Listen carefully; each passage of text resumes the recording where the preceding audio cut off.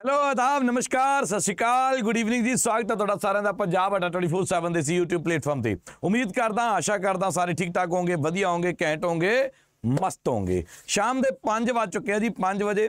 ਮਤਲਬ 5 ਵਜਦੇ ਆ ਨਾ, ਬਹੁਤਿਆਂ ਦੇ ਮਨ ਦੇ ਵਿੱਚ ਐ ਹੋਣਾ ਸ਼ੁਰੂ ਹੋ ਜਾਂਦਾ ਹੋਊਗਾ, ਯਾਰ 5 ਵੱਜ ਚੁੱਕੇ ਆ, ਬਸ ਜਲਦੀ ਜਲਦੀ YouTube ਖੋਲੀਏ, ਪੰਜਾਬ ਅੱਡਾ ਚੈਨਲ ਖੋਲੀਏ ਤੇ ਮਨੋਜ ਸਰ ਦੀ ਕਲਾਸ ਸ਼ੁਰੂ ਹੋਣ ਜਾ ਰਹੀ ਹੋਣੀ ਹੈ ਨਾ। ਹਰ ਰੋਜ਼ ਸ਼ਾਮ ਨੂੰ ਮਿਲਦੇ ਆ 5 ਵਜੇ। ਇਹ ਸਫ਼ਰ ਪਿਛਲੇ 1 ਸਾਲ ਤੋਂ ਲਗਾਤਾਰ ਚੱਲ ਰਿਹਾ। ਬਹੁਤ ਸਾਰੇ ਬੱਚੇ ਇਹਦੇ ਵਿੱਚ ਪਹਿਲਾਂ ਪੰਜਾਬ ਪੁਲਿਸ ਕਾਂਸਟੇਬਲ ਦੇ ਲਈ ਤਿਆਰੀ ਕਰਦੇ ਰਹੇ। ਬਹੁਤਿਆਂ ਦਾ ਐਗਜ਼ਾਮ ਕਲੀਅਰ ਹੋਇਆ, ਬਹੁਤਿਆਂ ਦਾ ਥੋੜੇ ਨੰਬਰਾਂ ਤੋਂ ਰਹਿ ਗਿਆ, ਬਹੁਤੇ ਅਗਲੇ ਪੇਪਰ ਦੀ ਤਿਆਰੀ ਕਰ ਰਹੇ ਆ। ਤੇ ਇਸੇ ਲੜੀ ਨੂੰ ਆਪਾਂ ਅੱਗੇ ਸ਼ੁਰੂ ਕਰਦੇ ਹੋਏ, ਇਸੇ ਨੂੰ ਆਪਾਂ ਅੱਗੇ ਜਾਰੀ ਰੱਖਦੇ ਹੋਏ ਦੋਸਤੋ, ਅੱਜ ਤੁਹਾਡੇ ਵਾਸਤੇ ਇੱਕ ਖਾਸ ਤੇ ਇੱਕ ਸਪੈਸ਼ਲ ਕਲਾਸ ਲੈ ਕੇ ਮੈਂ ਮਨੋਜ ਰਾਜਪੂਤ ਹਾਜ਼ਰ ਹੋ ਚੁੱਕਿਆ ਦੋਸਤੋ। ਅੱਜ ਦੀ ਕਲਾਸ ਪੰਜਾਬ ਦੇ ਜਿੰਨੇ ਵੀ ਐਗਜ਼ਾਮ ਨੇ ਜੀ 2023-24 ਦੇ ਜਿੰਨੇ ਵੀ ਐਗਜ਼ਾਮ ਹੋਣੇ ਆ like P triple S B ਦੇ ਵਿੱਚ ਪਟਵਾਰੀ ਦਾ ਐਗਜ਼ਾਮ ਹੋਵੇ 586 ਵੈਕੈਂਸੀਆਂ ਭਾਵੇਂ ਵੀਡੀਓ ਦਾ ਐਗਜ਼ਾਮ ਹੋਵੇ ਜਿਹੜਾ ਅੱਗੇ ਆਉਣ ਵਾਲਾ ਹੈ, ਭਾਵੇਂ ਜੇਲ੍ਹ ਵਾਰਡਰ ਦਾ ਪੇਪਰ ਹੋਵੇ, ਭਾਵੇਂ ਤੁਹਾਡਾ ਕੋਆਪਰੇਟਿਵ ਇੰਸਪੈਕਟਰ ਦਾ, ਭਾਵੇਂ ਤੁਹਾਡਾ ਪੰਜਾਬ ਪੁਲਿਸ ਦਾ ਸਬ ਇੰਸਪੈਕਟਰ ਕਾਂਸਟੇਬਲ ਜਿਹੜਾ ਵੀ ਐਗਜ਼ਾਮ ਹੋਵੇ, ਪੰਜਾਬ ਦੇ ਪੇਪਰਾਂ ਦੀ ਜਿੰਦ ਜਾਨ ਹੈ ਜੀ ਮਾਡਰਨ ਹਿਸਟਰੀ ਤੇ ਅੱਜ ਮਾਡਰਨ ਹਿਸਟਰੀ ਕਰਨ ਜਾ ਰਹੇ ਹਾਂ ਦੋਸਤੋ ਆਪਾਂ ਇੰਡੀਅਨ ਨੈਸ਼ਨਲ ਮੂਵਮੈਂਟ ਕਰਨ ਜਾ ਰਹੇ ਹਾਂ ਜੀ। ਇੰਡੀਅਨ ਨੈਸ਼ਨਲ ਮੂਵਮੈਂਟ 1885 ਤੋਂ ਲੈ ਕੇ 1947 ਤੱਕ ਦਾ ਉਹ ਇਤਿਹਾਸ ਉਹ ਕੁਐਸਚਨਸ ਜਿਹੜੇ ਤੁਹਾਡੇ ਸਾਰਿਆਂ ਦੇ ਵਾਸਤੇ ਦੋਸਤੋ ਬਹੁਤ ਜ਼ਿਆਦਾ ਇੰਪੋਰਟੈਂਟ ਰਹਿਣ ਵਾਲੇ ਆ। ਜਿੰਨੇ ਵੀ ਮੇਰੇ ਨਾਲ ਬੱਚੇ ਜੁੜ ਚੁੱਕੇ ਆ ਜੀ ਸਾਰਿਆਂ ਦਾ ਸਵਾਗਤ ਹੈ। ਸਭ ਨੂੰ ਗੁੱਡ ਈਵਨਿੰਗ ਦਿਲਪ੍ਰੀਤ ਕੌਰ ਨਵਦੀਪ ਕੌਰ ਰੇਖਾ ਰਾਣੀ ਆਯੂਸ਼ ਅ, ਡਿੰਪਲ ਮਨ ਮਧੂਬਾਲਾ ਸਨਮੀਤ ਸਿਮਰਨ ਸਪਨਾ ਹਰਪ੍ਰੀਤ ਨਵ ਆਯੂਸ਼ ਰਾਜ ਸਾਰਿਆਂ ਦਾ ਸਵਾਗਤ ਹੈ ਜੀ ਸਭ ਨੂੰ ਗੁੱਡ ਈਵਨਿੰਗ ਗੁੱਡ ਈਵਨਿੰਗ ਦੋਸਤੋ ਗੁੱਡ ਈਵਨਿੰਗ ਸਤਿ ਸ੍ਰੀ ਅਕਾਲ। ਜਲਦੀ ਨਾਲ ਵੀਡੀਓ ਨੂੰ ਸ਼ੇਅਰ ਕਰ ਦਿਓ, ਜਿਨ੍ਹਾਂ ਨੇ ਹਾਲ ਤੱਕ ਆਪਦੇ ਦੋਸਤਾਂ, ਮਿੱਤਰਾਂ, ਯਾਰਾਂ, ਬੇਲੀਆਂ ਤੱਕ ਪਹੁੰਚਦਾ ਨਹੀਂ ਕੀਤਾ ਵੀਡੀਓ ਨੂੰ, ਉਹਨਾਂ ਕੋਲੇ ਵੀਡੀਓ ਦਾ ਇੱਕ ਵਾਰੀ ਲਿੰਕ ਭੇਜ ਦਿਓ, ਤਾਂ ਕਿ ਸਾਰੇ ਜਣੇ ਕਲਾਸ ਦੇ ਵਿੱਚ ਆ ਸਕਣ। ਸ਼ੁਰੂਆਤ ਕਰਨ ਜਾ ਰਹੇ ਹਾਂ ਅੱਜ ਦੀ ਆਪਾਂ ਖਾਸ ਕਲਾਸ ਦੀ ਘੈਂਟ ਜਿਹੇ ਤਰੀਕੇ ਨਾਲ। ਅਗਰ ਮੇਰੇ ਨਾਲ ਕੋਈ ਪਹਿਲੀ ਵਾਰੀ ਜੁੜ ਰਿਹਾ, ਪੰਜਾਬ ਅੱਡਾ 24/7 ਤੇ ਪਹਿਲੀ ਵਾਰੀ ਵਿਜ਼ਿਟ ਕਰ ਰਹੇ ਹੋ, ਤਾਂ ਇੱਕ ਵਾਰੀ ਚੈਨਲ ਨੂੰ ਸਬਸਕ੍ਰਾਈਬ ਕਰ ਦਿਓ ਤੇ ਨਾਲ ਘੰਟੀ ਵਾਲਾ ਬਟਨ ਹੁੰਦਾ ਸਾਈਡ ਤੇ, ਉਹਨੂੰ ਟਰਨ ਕਰਕੇ ਦੱਬ ਦਿਓ ਤਾਂ ਕਿ ਹਰੇਕ ਕਲਾਸ ਦੀ ਜਾਣਕਾਰੀ ਸਮੇਂ ਸਿਰ ਦੋਸਤੋ ਮਿਲਦੀ ਰਹੇ। ਤੇ ਨਾਲ ਨਾਲ ਐਪਲੀਕੇਸ਼ਨ ਨੂੰ ਜਰੂਰ ਡਾਊਨਲੋਡ ਕਰ ਲਿਓ। ਇਸ ਐਪਲੀਕੇਸ਼ਨ ਦੇ ਵਿੱਚ ਪਿਆਰੇ ਦੋਸਤੋ, ਤੁਹਾਨੂੰ ਜਿੰਨੇ ਵੀ ਪੰਜਾਬ ਦੇ ਪੇਪਰ ਹੁੰਦੇ ਆ, ਉਹਨਾਂ ਸਾਰੇ ਪੇਪਰਾਂ ਦੀ ਅਗਰ ਤਿਆਰੀ ਕਰਨੀ ਹੈ ਪੇਡ ਬੈਚਸ ਇਹਦੇ ਵਿੱਚ ਮਿਲਦੇ ਆ। ਨਾਲ ਨਾਲ free of cost job alerts ਨਾਲ ਨਾਲ ਕਰੰਟ ਅਫੇਅਰਸ ਡੇਲੀ ਕੁਇਜ਼ਸ ਸਭ ਕੁਝ ਫ੍ਰੀ ਆਫ ਕਾਸਟ ਮਿਲ ਰਿਹਾ ਦੋਸਤੋ, ਅਗਰ ਜਲ ਤੱਕ ਐਪਲੀਕੇਸ਼ਨ ਨੂੰ ਡਾਊਨਲੋਡ ਨਹੀਂ ਕੀਤਾ, ਡਾਊਨਲੋਡ ਕਰ ਲਿਓ ਤੇ ਕਲਾਸ ਦੀ ਸ਼ੁਰੂਆਤ ਤੋਂ ਪਹਿਲਾਂ ਤੁਹਾਡੇ ਵਾਸਤੇ ਕਹਿੰਦੇ ਦੋ ਕੁ ਲਾਈਨਾਂ ਜੀਆਂ ਨੇ ਜੀ। ਕਹਿੰਦੇ, ਸੋਚਨੇ ਸੇ ਕਹਾ ਮਿਲਤੇ ਹੈ ਤਮੰਨਾਓਂ ਕੇ ਸ਼ਹਿਰ? ਜਰਾ ਗੌਰ ਫਰਮਾਇਓ सोच सोचने से कहा मिलते हैं तमन्नाओं के शहर चलना भी जरूरी है मंजिल को पाने के लिए सोचने से कहा मिलते हैं तमन्नाओं के शहर चलना भी जरूरी है मंजिल को पाने के लिए ਆਪਣੇ ਅੱਗੇ ਅਗਰ ਰੋਟੀ ਪਈ ਹੋਵੇ ਨਾ ਰੋਟੀ ਪਈ ਹੋਵੇ ਮੈਂ ਕਹਿੰਦਾ ਮੱਕੀ ਦੀ ਰੋਟੀ ਸਰੋਂ ਦਾ ਸਾਗ ਕੁਛ ਵੀ ਪਿਆ ਹੋਵੇ ਨਾ ਤੇ ਇਹ ਉਹਨੂੰ ਦੇਖ ਕੇ ਤਾਂ ਨਹੀਂ ਢਿੱਡ ਭਰਨਾ ਬੁਰਕੀ ਤੋੜ ਕੇ ਇੱਕ ਵਾਰੀ ਮੂੰਹ 'ਚ ਤਾਂ ਪਾਉਣੀ ਪਊਗੀ ਫੇਰ ਹੀ ਢਿੱਡ ਭਰੂਗਾ ਨਾ ਸੋਚਣ ਨਾਲ ਸਾਰਾ ਕੁਝ ਨਹੀਂ ਹਾਸਲ ਹੋ ਜਾਣਾ। ਜੋ ਸੋਚਿਆ ਹੈ, ਉਹਦੇ ਵਾਸਤੇ, ਉਹਨੂੰ ਪ੍ਰਾਪਤ ਕਰਨ ਵਾਸਤੇ ਦੋਸਤੋ, ਮਿਹਨਤ ਤੁਹਾਨੂੰ ਜਿਹੜੀ ਹੈ, ਉਹ ਕਰਨੀ ਪਏਗੀ। ਉਹਨੂੰ ਹਾਸਲ ਕਰਨ ਦੇ ਵਾਸਤੇ ਮਿਹਨਤ ਤੁਹਾਨੂੰ ਕਰਨੀ ਪਏਗੀ, ਉਹ ਵੀ ਇੱਕ ਦਿਨ ਨਹੀਂ ਲਗਾਤਾਰ ਕਰਨੀ ਪਏਗੀ। ਜਿਹੜੇ ਮਿਹਨਤ ਛੱਡ ਕੇ ਪਿੱਛੇ ਹੋ ਜਾਂਦੇ ਆ, ਉਹ ਫਿਰ ਭਾਈ ਪਛਤਾਉਂਦੇ ਆ, ਕਿਉਂਕਿ ਜਦੋਂ ਜ਼ਿੰਦਗੀ ਦੇ ਆਪਾਂ ਬਿਲਕੁਲ ਕਾਮਯਾਬੀ ਦੇ ਨੇੜੇ ਪਹੁੰਚ ਜਾਈਦਾ ਨਾ ਬਹੁਤਿਆਂ ਦੇ ਕਦਮ ਉਦੋਂ ਡੋਲਦੇ ਹੁੰਦੇ ਆ, ਕਿਉਂਕਿ ਉਦੋਂ ਇਹ ਲੱਗਦਾ ਯਾਰ ਬਹੁਤ ਟਾਈਮ ਹੋ ਚੁੱਕਿਆ, ਹਨਾ, ਬਹੁਤ ਟਾਈਮ ਹੋ ਚੁੱਕਿਆ। ਤੇ ਸਾਡੇ ਸਿਕੰਦਰ ਸਿੰਘ ਸਰ ਹੁੰਦੇ ਸੀ, ਜੋ ਪੜ੍ਹਦੇ ਹੁੰਦੇ ਸੀ ਨਾ ਸਕੂਲ ਦੇ ਵਿੱਚ, ਉਹ ਕਹਿੰਦੇ ਜਿਹੜਾ ਸਮਾਂ ਹੁੰਦਾ ਨਾ, ਉਹ ਸਮਾਂ ਗੰਜਾ ਹੁੰਦਾ ਪਿੱਛੋਂ। ਸਮਾਂ ਜਿਹੜਾ ਹੁੰਦਾ ਉਹ ਪਿੱਛੋਂ ਗੰਜਾ ਹੁੰਦਾ, ਤੇ ਉਹ ਫੜਿਆ ਨਹੀਂ ਜਾਂਦਾ ਜੇ ਇੱਕ ਵਾਰੀ ਨਿਕਲ ਗਿਆ।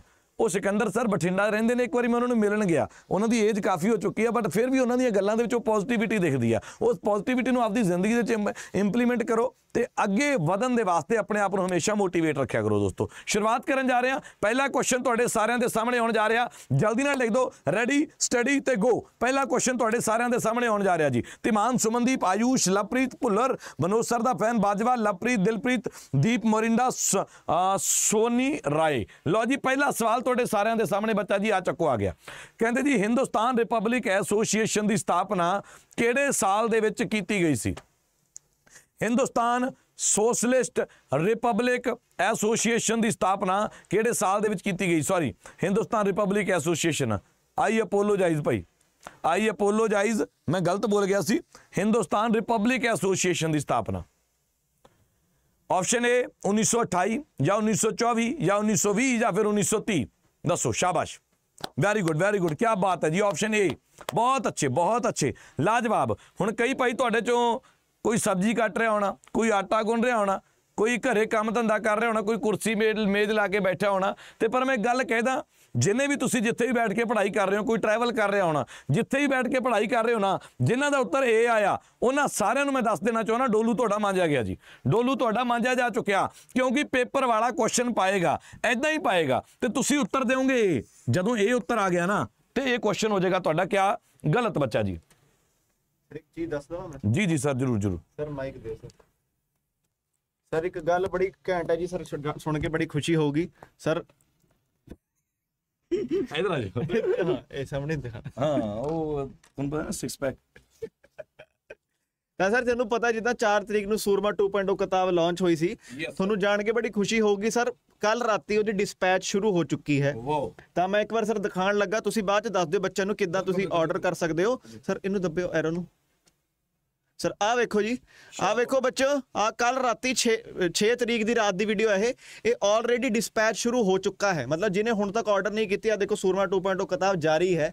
ਤੇ ਜਿਨ੍ਹਾਂ ਨੇ ਮਤਲਬ 4 ਤਰੀਕ ਨੂੰ ਕਰਤੀ ਮੈਨੂੰ ਲੱਗਦਾ ਸਰ ਕੱਲ ਜਾਂ ਪਰਸੋਂ ਉਹਨਾਂ ਤੱਕ ਕਿਤਾਬ ਪਹੁੰਚ ਜੂਗੀ। ਤੇ ਫਟਾਫਟ ਛੇਤੀ ਤੋਂ ਛੇਤੀ ਆਰਡਰ ਕਰ ਦਿਓ ਕਿਉਂਕਿ ਦੀਵਾਲੀ ਆਜੂ ਫਿਰ ਦੀਵਾਲੀ 'ਚ ਹੋ ਜਾਣਗੇ ਛੁੱਟੀਆਂ ਫਿਰ ਹੋਰ ਡੀਲੇ ਹੋ ਜੂ। ਕਿਉਂਕਿ ਇਸ ਕਿਤਾਬ ਨਾਲ ਫ੍ਰੀ ਮਿਲ ਰਿਹਾ ਲਾਈਵ ਬੈਚ ਇਸ ਕਿਤਾਬ ਨੂੰ ਸਮਝਣ ਲਈ ਤੇ ਨਾਲ ਨਾਲ 25 ਤੋਂ ਜ਼ਿਆਦਾ ਟੈਸਟ ਸੀਰੀਜ਼ ਤੇ ਉਹਦਾ ਫਾਇਦਾ ਤਾਂ ਹੀ ਹੈ ਜੇ ਕਿਤਾਬ ਇੱਕ ਵਾਰ ਰੀਡ ਕੀਤੀ ਹੋਵੇ ਵੀ ਕਲਾਸ 'ਚ ਆ ਕੇ ਅੰਡਰਲਾਈਨ ਕਰ ਲਿਆ ਵੀ ਸਰ ਇਹ ਡਾਊਟ ਸੀਗਾ ਕਿੱਦਾਂ ਕਰਨਾ। ਤਾਂ ਬਸ ਇਹੀ ਗੱਲ ਦੱਸਣ ਆਇਆ ਸੀ ਸਰ ਬਹੁਤ ਤੇਜ਼ ਕੰਮ ਚੱਲਿਆ ਹੋਇਆ। ਇਹ ਮੋਏ ਮੁੰਡਿਆਂ ਨੇ ਵੀ ਛੁੱਟੀ ਤੇ ਜਾਣਾ ਪਈ ਫਿਰ ਦੀਵਾਲੀ ਨਹੀਂ ਨਹੀਂ ਬਿਲਕੁਲ ਸਰ ਸਿੱਧੀ ਜੀ ਗੱਲ ਹੈ ਮੈਂ ਤਾਂ ਹੀ ਦੱਸਣ ਆਇਆ ਮੈਂ ਕਿਹਾ ਸਰ ਬੱਚਨ ਨੂੰ ਦੱਸ ਦਿਓ ਇੱਕ ਵਾਰ ਹੈ ਨਾ? ਬਿਲਕੁਲ ਬਿਲਕੁਲ ਬਿਲਕੁਲ ਬਿਲਕੁਲ। ਆਪਾਂ ਕਲਾਸ ਦੇ ਐਂਡ ਤੇ ਡਿਸਕਸ ਕਰਾਂਗੇ ਬੁੱਕ ਨੂੰ ਆਰਡਰ ਕਿੱਦਾਂ ਕਰਨਾ ਸਾਰੀਆਂ ਚੀਜ਼ਾਂ ਧਿਆਨ ਦੇ ਨਾਲ ਸੁਣ ਕੇ ਜਾਇਓ। ਤੇ ਨਾਲ ਲਾਈਵ ਬੈਚ ਸਾਰਾ ਕੁਝ ਕਿੱਦਾਂ ਮਿਲੇਗਾ ਟੈਸਟ ਸੀਰੀਜ਼ ਵਗੈਰਾ ਉਹ ਵੀ ਦੱਸ ਕੇ ਜਾਊਂਗਾ। ਦੇਖੋ ਕੁਐਸਚਨ ਨੂੰ ਧਿਆਨ ਨਾਲ ਪੜੋ ਕੁਐਸਚਨ ਨੂੰ ਧਿਆਨ ਨਾਲ ਪੜਿਆ ਇਹ ਆਨਸਰ ਤੁਹਾਡਾ ਗਲਤ ਆ ਜੀ। ਇਹ ਆਨਸਰ ਤੁਹਾਡਾ ਗਲਤ ਆ, ਕਿਉਂਕਿ ਜੇ ਤੁਹਾਨੂੰ ਪੇਪਰ ਦੇ ਵਿੱਚ ਸਵਾਲ ਆਵੇ, ਜੇ ਤੁਹਾਨੂੰ ਪੇਪਰ ਦੇ ਵਿੱਚ ਸਵਾਲ ਆਵੇ, ਹਿੰਦੁਸਤਾਨ ਸੋਸ਼ਲਿਸਟ ਰਿਪਬਲਿਕ ਐਸੋਸੀਏਸ਼ਨ, ਫਿਰ ਤਾਂ 1928 ਲਾ ਦਿਓ। ਜੇ ਕੱਲਾ ਹਿੰਦੁਸਤਾਨ ਰਿਪਬਲਿਕ ਐਸੋਸੀਏਸ਼ਨ ਆਵੇ, ਫਿਰ ਕੀ ਲਾਉਂਗੇ ਜੀ? 1924 ਲਾਉਂਗੇ ਪਿਆਰੇ ਬੱਚਿਓ। ਇੱਥੇ ਉੱਤਰ ਕੀ ਆਏਗਾ ਜੀ? 1924 ਜਿਨ੍ਹਾਂ ਦਾ ਗਲਤ ਹੋਇਆ ਸੌਰੀ ਸਰ ਬੋਲ ਕੇ ਮਾਫੀ ਮੰਗ ਸਕਦੇ ਹੋ। ਇੱਕ ਸੈਕਿੰਡ ਰੁਕੋ ਬਸ, ਇੱਕ ਸੈਕਿੰਡ ਦਾ ਸਮਾਂ ਦਿਓ ਪਲੀਜ਼ ਚਲੋ, ਇਹਦਾ ਉੱਤਰ ਕੀ ਆ ਗਿਆ ਜੀ? ਬੀ ਆ ਗਿਆ। ਅਗਲਾ ਸਵਾਲ ਵੇਖਦੇ ਹਾਂ ਕੀ ਕਹਿੰਦਾ। ਅਗਲਾ ਕੁਐਸਚਨ ਆ ਗਿਆ। ਕਹਿੰਦੇ ਕਿਹੜੀ ਕਿਹੜੀ ਜਗ੍ਹਾ ਦੇ ਉੱਤੇ? ਕਿਹੜੀ ਜਗ੍ਹਾ ਦੇ ਉੱਤੇ ਗਦਰ ਪਾਰਟੀ ਦੀ ਸਥਾਪਨਾ ਕੀਤੀ ਗਈ ਸੀ? ਗਦਰ ਪਾਰਟੀ ਦੀ ਸਥਾਪਨਾ, ਪਿਆਰੇ ਬੱਚਿਓ, ਕਿੱਥੇ ਹੋਈ ਸੀ? ਅਫਗਾਨਿਸਤਾਨ ਦੇ ਵਿੱਚ, ਮਿਆਂਮਾਰ ਦੇ ਵਿੱਚ, ਇੰਗਲੈਂਡ ਦੇ ਵਿੱਚ ਜਾਂ ਯੂਨਾਈਟਿਡ ਸਟੇਟਸ ਆਫ ਅਮਰੀਕਾ ਦੇ ਵਿੱਚ? ਦੱਸੋ। ਸ਼ਾਬਾਸ਼। ਕੀ ਬਾਤ ਹੈ ਜੀ। ਵੈਰੀ ਗੁੱਡ ਬਹੁਤ ਅੱਛੇ। ਜਵਾਬ ਸਭ ਦਾ ਹੋਣਾ ਚਾਹੀਦਾ ਜੀ। ਦੇਖੋ, ਕੀ ਕਹਿ ਰਿਹਾ? ਕਹਿੰਦੇ ਜੀ, ਗਦਰ ਪਾਰਟੀ ਦੀ ਸਥਾਪਨਾ ਕਦੋਂ ਕੀਤੀ ਗਈ? ਏ ਬੀ ਸੀ ਔਰ ਡੀ ਦੇਖੋ, ਧਿਆਨ ਨਾਲ ਸੁਣੋ ਜਰਾ। ਕੁਐਸਚਨ ਨੂੰ ਧਿਆਨ ਨਾਲ ਪੜੋ ਧਿਆਨ ਨਾਲ ਪੜ ਕੇ ਫਿਰ ਦੇਖਦੇ ਹਾਂ ਦਾ ਉੱਤਰ ਕੀ ਆਏਗਾ। ਗਦਰ ਪਾਰਟੀ ਸਾਨੂੰ ਪਤਾ ਹੈ, ਸਰ 1913 ਦੇ ਵਿੱਚ ਸਾਡੇ ਕੋਲੇ ਗਦਰ ਪਾਰਟੀ ਦੀ ਸਥਾਪਨਾ ਹੋਈ। ਇਹ ਹੋਈ ਜੀ ਸੈਨ ਫਰਾਂਸਿਸਕੋ ਦੇ ਵਿੱਚ। ਸੈਨ ਫਰਾਂਸਿਸਕੋ ਕਿੱਥੇ ਪੈਂਦਾ, ਸਰ? ਸੈਨ ਫਰਾਂਸਿਸਕੋ ਪੈਂਦਾ ਜੀ ਸਾਡੇ ਕੋਲੇ ਅਮਰੀਕੇ ਦੇ ਵਿੱਚ। ਸੈਨ ਫਰਾਂਸਿਸਕੋ ਦੇ ਵਿੱਚ ਹੋਈ ਸਥਾਪਨਾ ਭਾਈ Ghadar party the. D that will be the ਜਮਾ ਜਮ answer D will be the right answer ਬਹੁਤ ਅੱਛੇ ਕੀ ਬਾਤ ਹੈ ਜੀ ਸ਼ਾਬਾਸ਼ ਡੀ ਬਿਲਕੁਲ ਸਹੀ ਉੱਤਰ ਹੈ ਜੀ United States of America San Francisco ਦੇ ਗਦਰ ਪਾਰਟੀ ਦੀ ਸਥਾਪਨਾ ਹੋਈ ਹੁਣ ਗਦਰ ਪਾਰਟੀ ਦੀ ਸਥਾਪਨਾ ਕਿਹਨੇ ਕੀਤੀ ਇੱਧਰ ਵੇਖੋ ਲਾਲਾ ਹਰਦਿਆਲ ਜੀ ਲਾਲਾ ਹਰਦਿਆਲ ਜੀ ਲਾਲਾ ਹਰਦਿਆਲ ਜੀ ਇਹਦੇ ਕੀ ਸਨ ਬੱਚਾ ਇਹਦੇ ਫਾਊਂਡਰ ਸਨ ਜੀ ਇਹਦੇ ਫਾਊਂਡਰ ਸਨ ਲਾਲਾ ਹਰਦਿਆਲ ਜੀ ਇਹਦੇ ਫਾਊਂਡਰ ਸਨ ਤੇ ਨਾਲ ਨਾਲ ਲਾਲਾ ਹਰਦਿਆਲ ਜੀ ਦੇ ਨਾਲ ਨਾਲ ਪਹਿਲੇ ਪ੍ਰੈਜ਼ੀਡੈਂਟ ਕੌਣ ਸਨ ਗਦਰ ਪਾਰਟੀ ਦੇ ਬਾਬਾ ਸੋਹਣ ਸਿੰਘ ਪਖਨਾ ਬਾਬਾ ਸੋਹਣ ਸਿੰਘ ਭਖਨਾ ਪਹਿਲੇ ਪ੍ਰੈਜ਼ੀਡੈਂਟ ਸਨ ਜੀ ਇਸ ਗਦਰ ਪਾਰਟੀ ਦੀ ਜੇ ਮੈਂ ਗੱਲ ਕਰਾਂ। ਸ਼ਾਬਾਸ਼ ਵੈਰੀ ਗੁੱਡ ਜਿੰਨਾ ਬੱਚਿਆਂ ਦਾ ਉੱਤਰ ਇਹ ਆਇਆ ਨਾ, ਬਿਲਕੁਲ ਸਹੀ ਹੈ ਜੀ, ਸੋਹਣ ਸਿੰਘ ਪਖਨਾ ਇਹਦੇ ਪਹਿਲੇ ਪ੍ਰੈਜ਼ੀਡੈਂਟ ਸਨ ਤੇ ਕਾਸ਼ੀ ਰਾਮ ਜੀ ਇਹਦੇ ਪਹਿਲੇ ਖਜ਼ਾਨਚੀ ਸਨ ਜੀ। ਕਾਸ਼ੀ ਰਾਮ ਕੌਣ ਸਨ? ਇਹਦੇ ਪਹਿਲੇ ਖਜ਼ਾਨਚੀ ਸਨ। ਵੈਰੀ ਗੁੱਡ ਸ਼ਾਬਾਸ਼। ਆ ਗਈ ਗੱਲ ਪੱਲੇ ਪਈ? ਚਲੋ, ਅਗਲੇ ਕੁਐਸਚਨ ਦੇ ਵੱਲ ਚੱਲੀਏ। ਅਗਲੇ ਸਵਾਲ ਦੇ ਵੱਲ ਚੱਲੀਏ, ਬਹੁਤ ਅੱਛੇ ਕੀ ਬਾਤ ਹੈ ਜੀ। ਅਗਲਾ ਸਵਾਲ। ਚਲੋ ਭਾਈ। ਲਓ ਜੀ। ਕਹਿੰਦੇ ਜੀ 1757 ਦੇ ਵਿੱਚ ਪਲਾਸੀ ਦੀ ਲੜਾਈ ਹੋਈ ਸੀ, ਬਹੁਤ ਫੇਮਸ ਆ ਜੀ।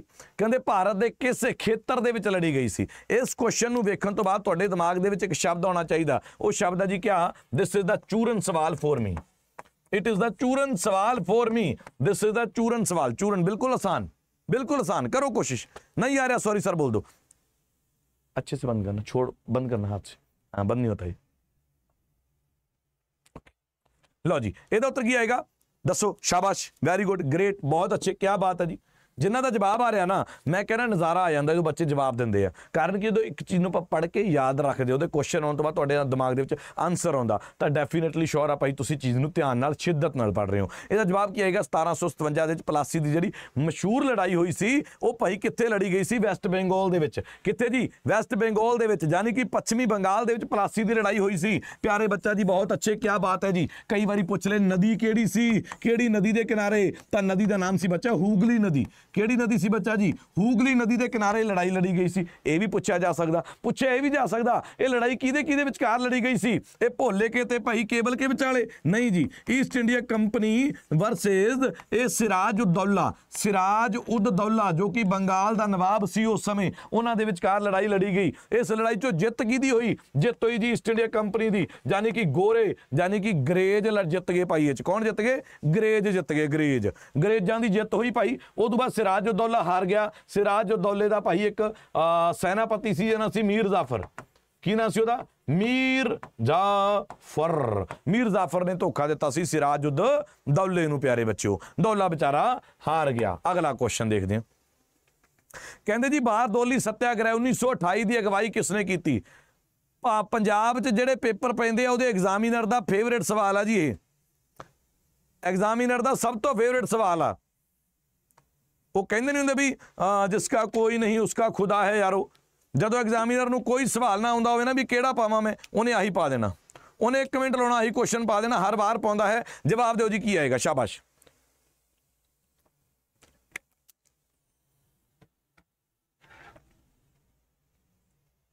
ਬਾਰਦੋਲੀ ਸੱਤਿਆਗ੍ਰਹਿ 1928 ਦੀ ਅਗਵਾਈ ਕਿਸਨੇ ਕੀਤੀ ਵੈਰੀ ਗੁੱਡ ਸ਼ਾਬਾਸ਼ ਕੀ ਬਾਤ ਹੈ ਜੀ ਬਹੁਤ ਅੱਛੇ ਬਾਰਦੋਲੀ ਸੱਤਿਆਗ੍ਰਹਿ ਦੀ ਅਗਵਾਈ ਕੀਤੀ ਸਾਡੇ ਕੋਲੇ ਸਰਦਾਰ ਵੱਲਭ ਭਾਈ ਪਟੇਲ ਨੇ। ਸਰਦਾਰ ਪਟੇਲ ਨੂੰ ਕਿਹੜੇ ਨਾਮ ਦੇ ਨਾਲ ਜਾਣਦੇ ਆਪਾਂ?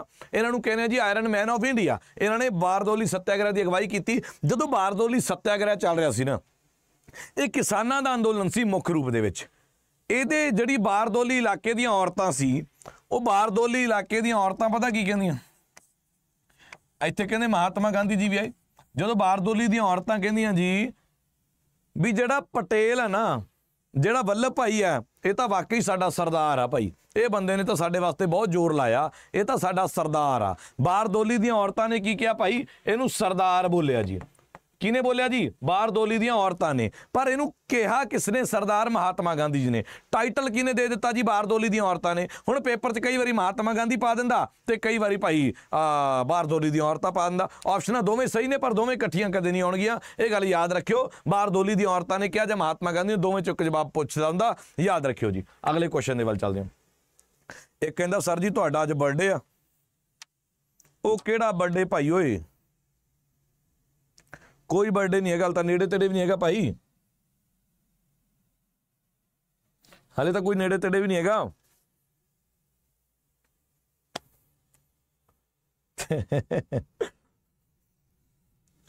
ਉਹ ਭਾਈ ਸਹੀ ਲਿਖਿਆ ਕਰੋ, ਇੰਨੀ ਕਾਲੀ ਨਾ ਕਰਿਆ ਕਰੋ ਕੁਐਸਚਨ ਦਾ ਆਨਸਰ ਦੇਣ ਲੱਗੇ। ਇੱਕ ਨੇ ਲਿਖਣਾ ਜੀ, ਸਰਦਾਰ ਪਟੇਲ, ਇੱਕ ਲਿਖੀ ਜਾਂਦਾ ਸਰਦਾਰ ਪਲੇਟ। ਉਹ ਭਾਈ ਪਲੇਟ ਤੇ ਪਟੇਲ 'ਚ ਬਹੁਤ ਫ਼ਰਕ ਹੁੰਦਾ। ਕਹਿੰਦੇ ਜੀ 1857 ਦੇ ਵਿਦਰੋਹ ਨੂੰ ਭਾਰਤ ਦੇ ਪਹਿਲੇ ਸੁਤੰਤਰਤਾ ਸੰਗਰਾਮ ਦਾ ਨਾਮ ਕਿਹਨੇ ਦਿੱਤਾ ਜੀ? ਭਾਰਤ ਦੇ ਪਹਿਲੇ ਸੁਤੰਤਰਤਾ ਸੰਗਰਾਮ ਦਾ ਨਾਮ ਕਿਹਨੇ ਦਿੱਤਾ ਜੀ? ਦੱਸੋ। First independence struggle to the revolt of 1857 ਕਿਹਨੇ ਕਿਹਾ ਸੀ ਵੀ ਪਹਿਲਾ ਸੁਤੰਤਰਤਾ ਦਾ ਸੰਗਰਾਮ ਹੈ ਜੀ? ਸ਼ਾਬਾਸ਼। ਬਾਲ ਗੰਗਾਧਰ ਤਿਲਕ ਜੀ ਨੇ, ਸੁਭਾਸ਼ ਚੰਦਰ ਬੋਸ ਜੀ ਨੇ, ਭਗਤ ਸਿੰਘ ਜੀ ਨੇ ਜਾਂ ਵੀ ਡੀ ਸਾਵਰਕਰ ਜੀ ਨੇ ਸ਼ਾਬਾਸ਼ ਸ਼ਾਬਾਸ਼ ਵੈਰੀ ਗੁੱਡ ਬਹੁਤ ਅੱਛੇ ਨਹੀਂ ਆ ਰਿਹਾ ਤੇ you can say sorry sir you can say sorry sir ਉੱਤਰ ਕੀ ਆਏਗਾ ਜੀ ਉੱਤਰ ਆਏਗਾ ਵੀ ਡੀ ਸਾਵਰਕਰ ਉੱਤਰ ਕੀ ਆਏਗਾ ਜੀ V D Savarkar that will be the ਝਮਾ ਝਮ ਆਨਸਰ ਦੋਸਤੋ ਡੀ ਬਿਲਕੁਲ ਰਾਈਟ ਆਨਸਰ ਹੈ ਜੀ ਡੀ ਬਿਲਕੁਲ ਸਹੀ ਉੱਤਰ ਹੈ ਦੋਸਤੋ ਬਿਲਕੁਲ ਸਹੀ ਉੱਤਰ ਆ ਗਿਆ ਜੀ ਅਗਲਾ ਕੁਐਸਚਨ ਦੇਖਦੇ ਹਾਂ ਕਹਿੰਦੇ ਬਾਲ ਗੰਗਾਧਰ ਤਿਲਕ ਜੀ ਨੂੰ ਅਸ਼ਾਂਤੀ ਦਾ ਪਿਤਾਮਾ ਕਿਸਨੇ ਕਿਹਾ ਸੀ ਅਸ਼ਾਂਤੀ ਦਾ ਪਿਤਾਮਾ ਫਾਦਰ ਆਫ ਅਨਰੈਸਟ ਸ਼ਾਂਤ ਜੇ ਬੰਦੇ ਪਸੰਦ ਨਹੀਂ ਹੁੰਦੇ ਨਾ ਆਪਣਾ ਪੰਜਾਬੀਆਂ ਨੂੰ ਖਾਸ ਤੌਰ ਤੇ। ਪੰਜਾਬੀਆਂ ਨੂੰ ਫਿਲਮਾਂ ਵੀ ਉਹ ਵਧੀਆ ਲੱਗਦੀਆਂ, ਚਪੇੜਾਂ ਪੈਂਦੀਆਂ ਹੁਣ, ਬਸ ਹੋਰ ਕੁਛ ਨਾ ਹੋਵੇ। ਉਹ ਡੀਡੀਐਲ ਜੇ ਦਿਲ ਵਾਲੇ ਦੁਲਹਨੀਆਂ ਲੈ ਜਾਏਂਗੇ, ਸਰੋਂ ਦੇ ਖੇਤਾਂ 'ਚ ਸ- ਸ਼ਾਹਰੁਖ ਖਾਨ ਭਜਦਾ ਫਿਰਦਾ ਕਾਜਲ ਪਿੱਛੇ, ਉਹ ਨਹੀਂ ਵਧੀਆ ਲੱਗਦੀ ਪੰਜਾਬੀਆਂ ਨੂੰ। ਪੰਜਾਬੀਆਂ ਨੂੰ ਫਿਲਮ ਉਹ ਵਧੀਆ ਲੱਗਦੀ ਉਹ ਕ੍ਰਿਸ਼ ਵਾਂਗੂ ਇੱਥੋਂ ਪੈਰ ਮਾਰੇ ਤੇ ਉਹ ਪਰਲੇ ਪਾਸੇ ਜਾ ਕੇ ਬਿਲਡਿੰਗ ਤੇ ਜਾ ਕੇ ਗੁੰਡੇ ਨੂੰ ਫੜ ਲੇ। ਇਹੀ ਗੱਲ ਆ ਭਾਈ ਬਾਲ ਗੰਗਾਧਰ ਤਿਲਕ ਨੂੰ ਅਸ਼ਾਂਤੀ ਦਾ ਪਿਤਾਮਾ ਕਿਹਨੇ ਕਿਹਾ?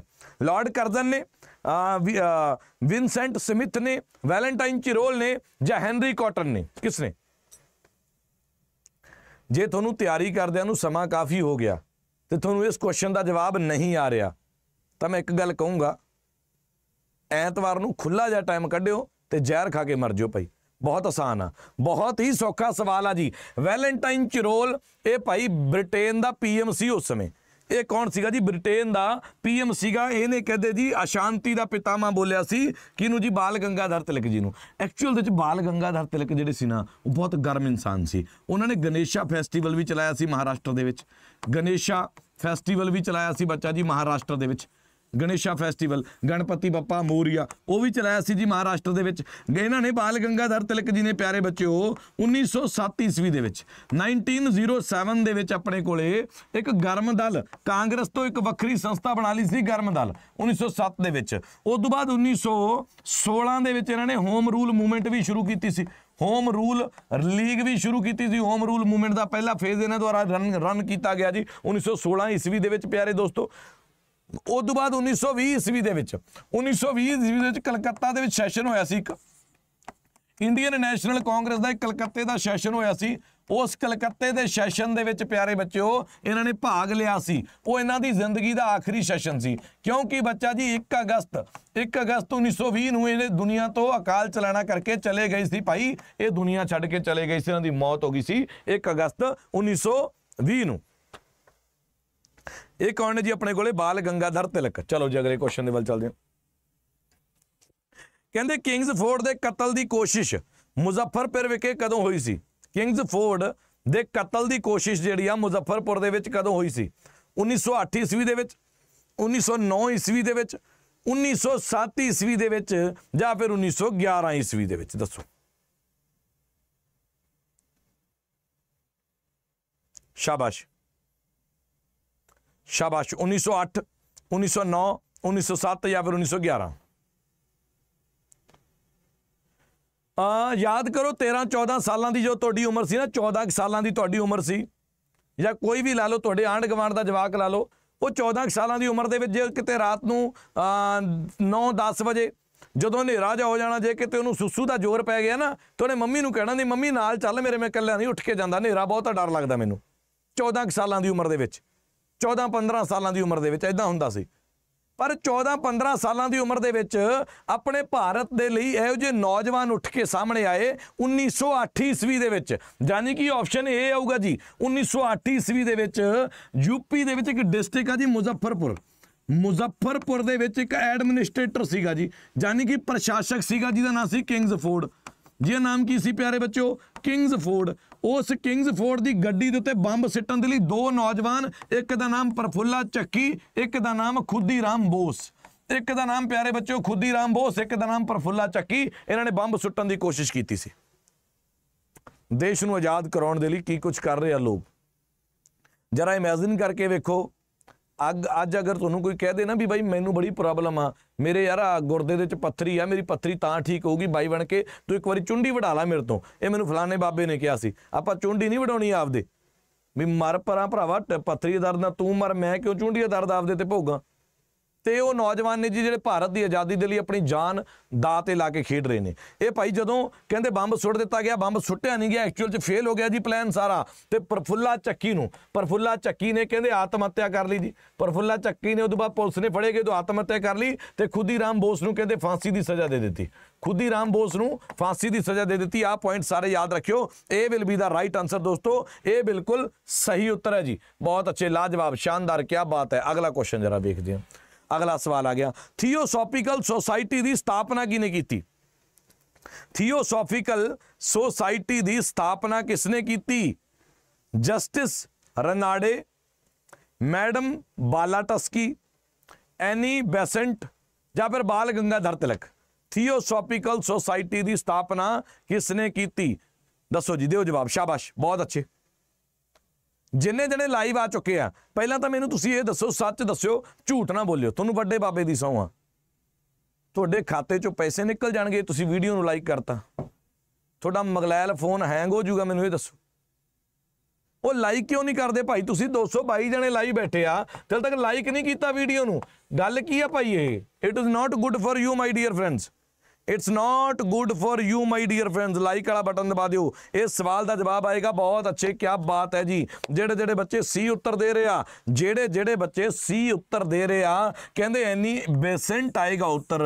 ਮੈਂ ਉਹਨਾਂ ਨੂੰ ਦੱਸਣਾ ਚਾਹਣਾ ਪੇਪਰ 'ਚ ਜੇ ਆਹੀ ਉੱਤਰ ਦੇ ਕੇ ਆ ਗਏ ਨਾ, ਤੇ ਡੋਲੂ ਮਾਂਜਾ ਜਾਊਗਾ ਜੀ। ਪੇਪਰ 'ਚ ਜੇ ਆਹੀ ਸਵਾਲ ਦਾ ਜਵਾਬ ਦੇ ਆਏ, ਤਾਂ ਡੋਲੂ ਤੁਹਾਡਾ ਚੰਗੀ ਤਰ੍ਹਾਂ ਮਾਂਜਿਆ ਜਾਊਗਾ, ਉਹ ਗਾਣਾ ਜਿਹਾ ਵੀ ਚੱਲੂਗਾ। Washing powder Nirma.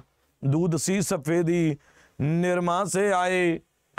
ਰੰਗੀਨ ਕਪੜਾ ਵੀ ਖਿਲ ਖਿਲ ਜਾਏ ਇਹਦਾ ਉੱਤਰ ਕੀ ਆਏਗਾ ਜੀ ਮੈਡਮ ਬਾਲਾ ਟਸਕੀ ਆਏਗਾ ਮੈਡਮ ਬਾਲਾ ਟਸਕੀ ਨੇ ਭਾਈ ਥੀਓਸੋਫਿਕਲ ਸੁਸਾਇਟੀ ਦੀ ਸਥਾਪਨਾ ਕੀਤੀ ਸੀ ਇਹ ਗੱਲ ਹੋਰ ਯਾਦ ਰੱਖਿਓ ਇੱਕ ਹੋਰ ਗੱਲ ਯਾਦ ਰੱਖਿਓ ਮੈਡਮ ਬਾਲਾ ਟਸਕੀ ਦੇ ਨਾਲ ਸਨ ਕਰਨਲ ਅਲਕਾਟ ਜੀ ਕਰਨਲ ਅਲਕਾਟ ਇਹਨਾਂ ਦੋਵਾਂ ਨੇ ਸੁਸਾਇਟੀ ਦੀ ਸਥਾਪਨਾ ਕੀਤੀ ਸੀ ਕਰਨਲ ਅਲਕਾਟ ਤੇ ਮੈਡਮ ਬਾਲਾ ਟਸਕੀ ਨੇ ਇਹ ਕੈਨੇਡਾ ਦੇ ਵਿੱਚ ਸ਼ੁਰੂਆਤ ਹੋਈ ਸੀ ਇਹਦੀ ਇਹ ਕਾਦੇ ਵਾਸਤੇ ਬਣਾਈ ਗਈ ਸੀ ਸੁਸਾਇਟੀ ਤਾਂ ਕਿ ਭਾਈ ਜਿਹੜੇ ਕੁਝ ਲੋਕ ਨੇ ਜਿਹੜੇ ਆਪਦੀ ਸੰਸਕ੍ਰਿਤੀ ਨੂੰ, ਜਿਹੜੇ ਆਪਦੇ ਸੱਭਿਆਚਾਰ ਨੂੰ ਭੁੱਲਦੇ ਜਾ ਰਹੇ ਆ, ਉਹਨਾਂ ਨੂੰ ਅਵੇਅਰ ਕਰਨ ਦੇ ਵਾਸਤੇ, ਉਹਨਾਂ ਦੀ ਸਿੱਖਿਆ ਦੇ ਪ੍ਰਤੀ ਉਹਨਾਂ ਨੂੰ ਅਵੇਅਰ ਕਰਨ ਦੇ ਵਾਸਤੇ ਜਿਹੜੀ ਸੰਸਥਾ ਬਣਾਈ ਗਈ ਸੀ ਤੇ ਐਨੀ ਬੇਸੈਂਟ ਇਸੇ ਦੀ ਮੈਂਬਰ ਬਣ ਕੇ ਇੰਡੀਆ ਦੇ ਵਿੱਚ ਆਈ ਸੀ। ਹੋਰ ਐਨੀ ਬੇਸੈਂਟ ਦੀ ਕਿਹੜੀ ਭੂਆ ਰਹਿੰਦੀ ਸੀ ਵੀ ਜੂਨ ਦੀਆਂ ਛੁੱਟੀਆਂ 'ਚ ਮਿਲਣ ਆਈ ਸੀ ਉਹਨੂੰ? ਇਹਦੀ ਭਾਈ ਇਸੇ ਦੀ ਮੈਂਬਰ ਬਣ ਕੇ ਆਈ ਸੀ ਐਨੀ ਬੇਸੈਂਟ ਇੰਡੀਆ ਦੇ ਵਿੱਚ ਬੱਚਾ। ਅਗਲਾ ਕੁਐਸਚਨ ਦੇਖਦੇ ਹਾਂ ਜੀ।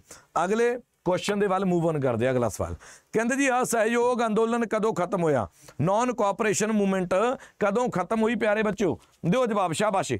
ਬਹੁਤ ਅੱਛੇ ਕੀ ਬਾਤ ਹੈ ਜੀ।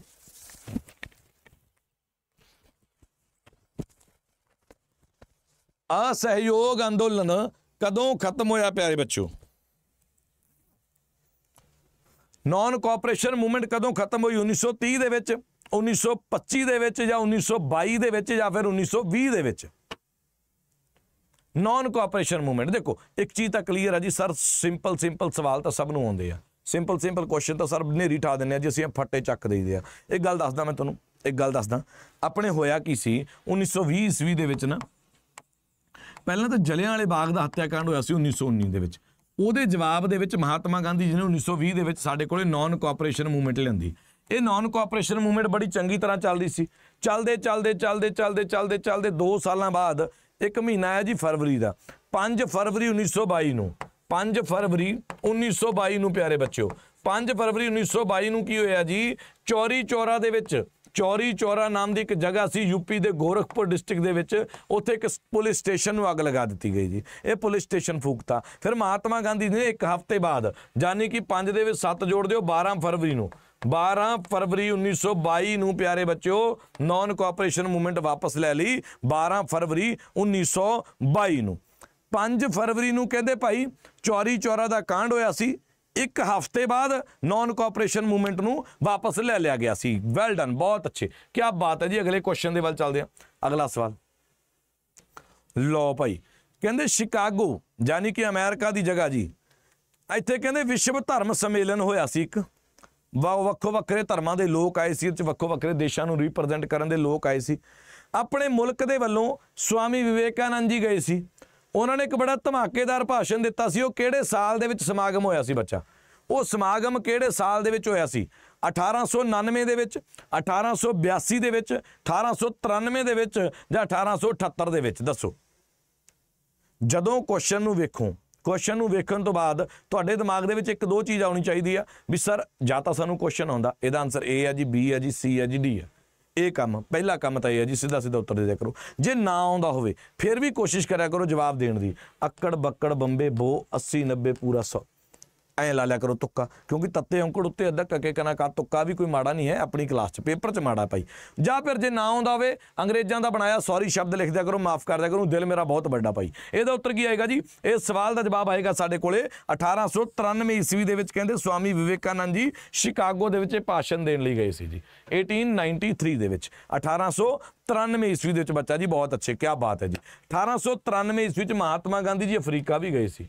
ਮਹਾਤਮਾ ਗਾਂਧੀ ਜੀ ਦੀ ਮੈਂ ਗੱਲ ਕਰਾਂ ਜੇ 1893 ਈਸਵੀ ਚ ਅਫਰੀਕਾ ਦੇ ਵਿੱਚ ਵੀ ਜਾ ਕੇ ਆਏ ਜੀ। ਮਹਾਤਮਾ ਗਾਂਧੀ ਜੀ 1893 ਕਿੱਥੇ ਗਏ? ਅਫਰੀਕਾ ਦੇ ਵਿੱਚ ਗਏ। ਤੇ ਨਾਲੇ 1893 ਦੇ ਵਿੱਚ ਇੱਕ ਨਿਊਜ਼ੀਲੈਂਡ ਦੇਸ਼ ਆ ਜਿਹੜਾ, ਉਹਨੇ ਆਪ ਦੇ ਦੇਸ਼ ਦੀਆਂ ਔਰਤਾਂ ਨੂੰ ਵੋਟ ਪਾਉਣ ਵਾਸਤੇ ਪਹਿਲੀ ਵਾਰੀ ਦੁਨੀਆ 'ਚ ਅਧਿਕਾਰ ਦਿੱਤਾ ਸੀ ਭਾਈ। ਨਿਊਜ਼ੀਲੈਂਡ ਨੇ ਔਰਤਾਂ ਨੂੰ ਵੋਟ ਪਾਉਣ ਦਾ ਅਧਿਕਾਰ ਪਹਿਲੀ ਵਾਰੀ 1893 ਈਸਵੀ ਦਿੱਤਾ ਜੀ। ਵੈਰੀ ਗੁੱਡ ਸ਼ਾਬਾਸ਼। ਲਾਜਵਾਬ ਚਲੀ ਅੱਗੇ। ਚਲੋ ਜੀ ਨੈਕਸਟ ਚੱਲਦੇ ਹਾਂ। ਚਲੋ ਜੀ, ਅਗਲਾ ਕੁਐਸਚਨ ਮੁਸਲਿਮ ਲੀਗ ਦੀ ਸਥਾਪਨਾ, ਮੁਸਲਿਮ ਲੀਗ ਦੀ ਸਥਾਪਨਾ ਕਦੋਂ ਹੋਈ? 1906 ਦੇ ਵਿੱਚ 1905 ਦੇ ਵਿੱਚ 1901 ਦੇ ਵਿੱਚ ਜਾਂ ਫਿਰ 1903 ਦੇ ਵਿੱਚ? ਦੱਸੋ। ਮੁਸਲਿਮ ਲੀਗ ਦੀ ਸਥਾਪਨਾ ਕਦੋਂ ਹੋਈ ਬੱਚਾ? ਸ਼ਾਬਾਸ਼। ਦੇਖੋ, ਜਿੰਨਾ ਹੁੰਦਾ ਕੋਸ਼ਿਸ਼ ਕਰੋ ਦੱਸਣ ਦੀ। ਐਂਡ ਦੇ ਉੱਤੇ ਜਾਂਦਾ ਹੋਇਆ, ਤੁਹਾਨੂੰ ਸਾਰਾ ਕੁਝ ਯਾਦ ਕਰਾ ਕੇ ਜਾਊਂਗਾ, ਇਹ ਚੀਜ਼ ਦੀ ਗਾਰੰਟੀ ਦਿੰਦਾ ਮੈਂ।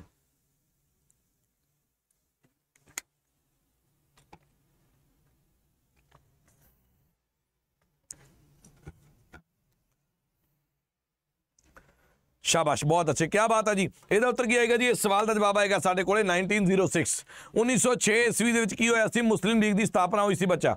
1906 ਦੇ ਵਿੱਚ ਕੀ ਹੋਇਆ ਸੀ? 1906 ਦੇ ਵਿੱਚ ਮੁਸਲਿਮ ਲੀਗ ਦੀ ਸਥਾਪਨਾ ਹੋਈ ਸੀ। ਮੁਸਲਿਮ ਲੀਗ ਜਾਨੀ ਕਿ ਕਿਦਾਂ ਦੀ ਪਾਰਟੀ ਜਿਹੜੀ ਕਾਂਗਰਸ ਦੇ ਆਪੋਜ਼ਿਟ ਜਾਣ ਜਾ ਰਹੀ ਹੈ ਜੀ? 1906 ਦੇ ਵਿੱਚ ਨਵਾਬ ਸਲੀਮੁੱਲਾ ਖਾਨ ਨੇ, ਨਵਾਬ ਸਲੀਮੁੱਲਾ ਖਾਨ, ਨਵਾਬ ਸਲੀਮੁੱਲਾ ਖਾਨ ਨੇ ਕਹਿੰਦੇ ਮੁਸਲਿਮ ਲੀਗ ਬਣਾਈ। ਤੇ ਆਗਾ ਖਾਨ ਨੂੰ ਪਹਿਲਾ ਪ੍ਰੈਜ਼ੀਡੈਂਟ ਬਣਾ ਦਿੱਤਾ ਜੀ। ਆਗਾ ਖਾਨ ਨੂੰ ਪਹਿਲਾ ਪ੍ਰੈਜ਼ੀਡੈਂਟ ਬਣਾ ਦਿੱਤਾ ਦੋਸਤੋ, ਪਹਿਲਾ ਪ੍ਰੈਜ਼ੀਡੈਂਟ ਕਿਹਨੂੰ ਬਣਾਇਆ? ਆਗਾ ਖਾਨ ਨੂੰ। ਤੇ ਆਗਾ ਖਾਨ ਨੇ 1906 ਚ ਜਮਾ ਹੀ ਸਿਰਾ ਕਰਤਾ। ਇਹ ਕਹਿੰਦਾ ਜੀ ਸਾਨੂੰ ਕਮਿਊਨਲ ਰਿਪਰੈਜ਼ੈਂਟੇਸ਼ਨ ਦੇ ਦਿਓ ਜੀ। ਕੀ ਕਹਿੰਦਾ ਜੀ? ਕਮਿਊਨਲ ਰਿਪਰੈਜ਼ੈਂਟੇਸ਼ਨ VOTING ਸਿਸਟਮ ਚਾਹੀਦਾ, ਮਤਲਬ ਸਾਡੇ ਧਰਮ ਦੇ ਬੰਦੇ ਅੱਡ ਵੋਟ ਪਾ ਕੇ ਆਪਦਾ ਨੁਮਾਇੰਦਾ ਚੁਣਿਆ ਕਰਨਗੇ। ਇਹ ਮੰਗ ਕਰਤੀ 1906 ਦੇ ਵਿੱਚ ਆਗਾ ਖਾਨ ਨੇ। ਮੁਸਲਿਮ ਲੀਗ ਦੀ ਸਥਾਪਨਾ ਹੋਈ ਕਿੱਥੇ ਸੀ ਬੱਚਾ? ਢਾਕਾ ਦੇ ਵਿੱਚ। ਮੁਸਲਿਮ ਲੀਗ ਦੀ ਸਥਾਪਨਾ ਕਿੱਥੇ ਹੋਈ ਜੀ? ਢਾਕਾ ਦੇ ਵਿੱਚ। ਢਾਕਾ ਕੀ ਅੱਜਕੱਲ ਬੰਗਲਾਦੇਸ਼ ਦੀ ਰਾਜਧਾਨੀ ਹੈ। ਚਲੋ ਭਾਈ। ਅਗਲਾ ਕੁਐਸਚਨ ਕਹਿੰਦੇ, ਭਾਰਤ ਵਿੱਚ ਰਾਸ਼ਟਰੀ ਅੰਦੋਲਨ ਦੇ ਸੰਦਰਭ ਦੇ ਵਿੱਚ ਪੂਨਾ ਸਮਝੌਤੇ ਤੇ ਕਦੋਂ ਹਸਤਾਖਰ ਕੀਤੇ ਗਏ ਸਨ? ਪੂਨਾ ਸਮਝੌਤਾ, ਪੂਨਾ ਪੈਕਟ ਕਦੋਂ ਸਾਈਨ ਹੋਇਆ ਜੀ? 1923 ਦੇ ਵਿੱਚ 1922 ਦੇ ਵਿੱਚ 1932 ਦੇ ਵਿੱਚ ਜਾਂ 1933 ਦੇ ਵਿੱਚ? ਦੱਸੋ ਜੀ, ਪੂਨਾ ਪੈਕਟ ਕਦੋਂ ਸਾਈਨ ਹੋਇਆ, ਪਿਆਰੇ ਬੱਚਾ ਜੀ? ਸ਼ਾਬਾਸ਼। ਬਹੁਤ ਹੀ ਅੱਛੇ। ਕਿਆ ਹੀ ਬਾਤਾਂ ਭਾਈ ਕਿਆ ਹੀ ਬਾਤਾਂ ਨੇ very good well done well done well done ਬਹੁਤ ਅੱਛੇ ਸ਼ਾਬਾਸ਼ ਨਿਸ਼ਾਨ ਜਤਿਨ ਕੋਮਲ ਨਿਸ਼ੂ ਰੀਆ ਪੂਜਾ ਸਿਮਰਨ ਹਰਪ੍ਰੀਤ ਗੁਰਤੇਜ ਕੋਮਲ ਵੀਰਪਾਲ ਪਰਮਜੀਤ ਸਤਨਾਮ ਗਗਨਦੀਪ ਭੁੱਲਰ ਸਪਨਾ ਹਰਜਿੰਦਰ ਹਰਪ੍ਰੀਤ ਹਰਵਨ ਹਰਜਿੰਦਰ ਅ, ਸੁਖਲੀਨ ਬਹੁਤ ਅੱਛੇ ਜੀ ਕਿਆ ਜਵਾਬ ਆ ਰਿਹਾ ਜੀ ਸਭ ਦਾ ਸਭ ਦਾ ਸੌਖਾ ਜਾ ਆਸਾਨ ਜਾ ਸਿੱਧਾ ਜਿਹਾ ਜਵਾਬ ਆ ਜੀ 1932 ਈਸਵੀ ਦੇ ਵਿੱਚ ਪੂਨਾ ਪੈਕਟ ਆ ਜਿਹੜਾ ਬੱਚਾ ਜੀ ਸਾਈਨ ਹੋਇਆ ਜੀ। ਹੁਣ ਪੂਨਾ ਪੈਕਟ ਜਿਹੜਾ ਸਾਈਨ ਹੈ ਪਿਆਰੇ ਬੱਚਿਓ, ਉਹ ਕਿਹਦੇ ਕਿਹਦੇ ਵਿਚਕਾਰ ਹੋਇਆ ਜੀ? ਇਹ ਸਾਈਨ ਹੋਇਆ ਬੱਚਾ ਜੀ ਭੀਮ ਰਾਓ ਅੰਬੇਦਕਰ ਦੇ ਵਿਚਕਾਰ। ਭੀਮ ਰਾਓ ਅੰਬੇਦਕਰ ਅਤੇ ਮਹਾਤਮਾ ਗਾਂਧੀ ਜੀ ਦੇ ਵਿਚਕਾਰ।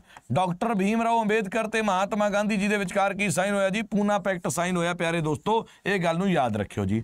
ਇਹ ਜਦੋਂ ਪੂਨਾ ਪੈਕਟ ਕਹਿੰਦੇ ਸਾਈਨ ਹੋਇਆ 1932 ਈਸਵੀ ਦੇ ਵਿੱਚ ਤਾਂ 1932 ਦੇ ਵਿੱਚ ਪੂਨਾ ਪੈਕਟ ਸਾਈਨ ਹੋਇਆ ਤੇ 1932 ਦੇ ਵਿੱਚ ਥਰਡ ਰਾਉਂਡ ਟੇਬਲ ਕਾਨਫਰੰਸ ਵੀ ਹੁੰਦੀ ਹੈ ਜੀ। ਥਰਡ ਰਾਉਂਡ ਟੇਬਲ ਕਾਨਫਰੰਸ ਵੀ ਹੁੰਦੀ ਹੈ ਜੀ ਥਰਡ ਰਾਉਂਡ ਟੇਬਲ ਕਾਨਫਰੰਸ ਇਹ ਸਾਲ ਹੀ ਬਹੁਤ ਇੰਪੋਰਟੈਂਟ ਆ ਬੱਚਾ ਜੀ। ਥਰਡ ਰਾਉਂਡ ਟੇਬਲ ਕਾਨਫਰੰਸ ਇਹਨਾਂ ਦਿਨਾਂ ਦੇ ਵਿੱਚ ਮਹਾਤਮਾ ਗਾਂਧੀ ਜੀ ਜੇਲ੍ਹ ਦੇ ਵਿੱਚ ਬੰਦ ਸਨ। ਉਸ ਜੇਲ੍ਹ ਦਾ ਨਾਮ ਕੀ ਸੀ? ਮਹਾਤਮਾ ਗਾਂਧੀ ਜੀ ਇੱਕ ਜੇਲ੍ਹ ਦੇ ਵਿੱਚ ਬੰਦ ਸਨ। ਉਹ ਜੇਲ੍ਹ ਦਾ ਨਾਮ ਸੀ ਜੀ ਯਰਵਾਡਾ ਜੇਲ੍ਹ। ਕਿਹੜੀ ਜੇਲ੍ਹ ਸੀ ਬੱਚਾ? ਯਰਵਾਡਾ ਜੇਲ੍ਹ। ਯਰਵਾਡਾ ਜੇਲ੍ਹ ਕਿੱਥੋਂ ਦੀ ਸੀ? ਪੂਨੇ ਦੀ ਜੇਲ੍ਹ ਸੀ ਜੀ। ਯਰਵਾਡਾ ਜੇਲ੍ਹ ਪੂਨੇ ਦੇ ਵਿੱਚ ਮਹਾਤਮਾ ਗਾਂਧੀ ਜੀ ਕਹਿੰਦੇ, ਬੰਦ ਸਨ ਭਾਈ, ਇਹਨਾਂ ਦਿਨਾਂ ਦੇ ਵਿੱਚ ਗੱਲ ਕਰੀਏ ਤੇ। ਅਗਲੇ ਕੁਐਸਚਨ ਦੇ ਵੱਲ ਚੱਲਦੇ ਹਾਂ। ਅਗਲਾ ਸਵਾਲ। ਹੇਠ ਲਿਖੇ ਸ਼ਬਦ ਕਿਸਨੇ ਕਹੇ? ਕਿਹੜੇ ਸ਼ਬਦ ਜੀ? ਇੱਕ ਝੰਡਾ ਸਾਰੀਆਂ ਕੌਮਾਂ ਲਈ ਇੱਕ ਲੋੜ ਹੈ। ਇੱਕ ਝੰਡਾ ਜਿਹੜਾ ਹੈ, ਕਹਿੰਦੇ ਸਾਰੀਆਂ ਕੌਮਾਂ ਦੇ ਲਈ ਲੋੜ ਹੈ ਜੀ। ਲੱਖਾਂ ਲੋਕ ਇਸ ਲਈ ਮਰ ਚੁੱਕੇ ਹਨ।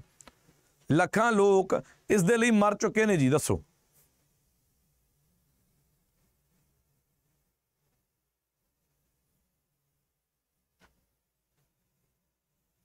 ਸ਼ਾਬਾਸ਼। ਇੱਕ ਝੰਡਾ ਸਾਰੀਆਂ ਕੌਮਾਂ ਦੇ ਲਈ ਲੋੜ ਹੈ ਜੀ। ਝੰਡਾ ਯਾਨੀ ਕਿ ਫਲੈਗ ਸਾਰਿਆਂ ਦੀ ਲੋੜ ਹੈ ਤੇ ਲੱਖਾਂ ਲੋਕ ਇਹਦੇ ਪਿੱਛੇ ਮਰ ਚੁੱਕੇ ਨੇ ਜੀ। ਇਹ ਬਿਆਨ ਕਿਸ ਦਾ ਜੀ? ਸਰੋਜਨੀ ਨਾਇਡੂ ਜੀ ਦਾ, ਮਹਾਤਮਾ ਗਾਂਧੀ ਜੀ ਦਾ, ਆ ਭੀਕਾ ਜੀ ਕਾਮਾ ਜੀ ਦਾ ਜਾਂ ਜਵਾਹਰ ਲਾਲ ਨਹਿਰੂ ਜੀ ਦਾ। ਦੇਖੋ, ਝੰਡੇ ਦੀ ਗੱਲ ਕਰੇ ਜਾਂ ਭਾਈ ਦੇਸ਼ ਦੀ ਏਕਤਾ, ਅਖੰਡਤਾ ਦੀ ਗੱਲ ਕਰੇ ਜਾਂ ਦੇਸ਼ ਦੇ ਵਿੱਚ ਸ਼ਾਂਤੀ ਦੀ ਗੱਲ ਕਰੇ ਜ਼ਿਆਦਾਤਰ ਉੱਤਰ ਅੱਖਾਂ ਬੰਦ ਕਰਕੇ ਲਾ ਸਕਦੇ ਹੋ। ਮਹਾਤਮਾ ਗਾਂਧੀ ਜੀ ਕੀ ਉੱਤਰ ਲਾ ਸਕਦੇ ਹੋ ਬੱਚਾ? ਮਹਾਤਮਾ ਗਾਂਧੀ ਜੀ ਉੱਤਰ ਲਾ ਸਕਦੇ ਹੋ। ਮਹਾਤਮਾ ਗਾਂਧੀ ਜੀ ਨੇ ਬੋਲੀ ਸੀ ਭਾਈ ਇਹ ਸਟੇਟਮੈਂਟ ਮਹਾਤਮਾ ਗਾਂਧੀ ਜੀ ਨੇ ਡੂ ਔਰ ਡਾਈ ਵੀ ਬੋਲਿਆ ਸੀ। ਮਹਾਤਮਾ ਗਾਂਧੀ ਨੇ ਪਿਆਰੇ ਬੱਚੋ ਡੂ ਔਰ ਡਾਈ ਵੀ ਬੋਲਿਆ ਸੀ। ਡੂ ਔਰ ਡਾਈ ਦਾ ਨਾਰਾ ਕਰੋ ਜਾਂ ਮਰੋ ਦਾ ਨਾਰਾ ਵੀ ਮਹਾਤਮਾ ਗਾਂਧੀ ਜੀ ਦਾ ਜੀ। ਕਹਿੰਦੇ ਪਲਾਸੀ ਦੀ ਲੜਾਈ ਵੇਲੇ ਮੁਗਲ ਬਾਦਸ਼ਾਹ ਕੌਣ ਸੀ? ਵਾਹ ਜੀ ਵਾਹ ਕੀ ਬਾਤ ਹੈ ਕੁਐਸਚਨ ਕੈਂਟ ਜਦੋਂ ਪਲਾਸੀ ਦੀ ਲੜਾਈ ਹੋਈ 1757 ਦੇ ਵਿੱਚ, ਉਦੋਂ ਮੁਗਲ ਬਾਦਸ਼ਾਹ ਕੌਣ ਸੀ?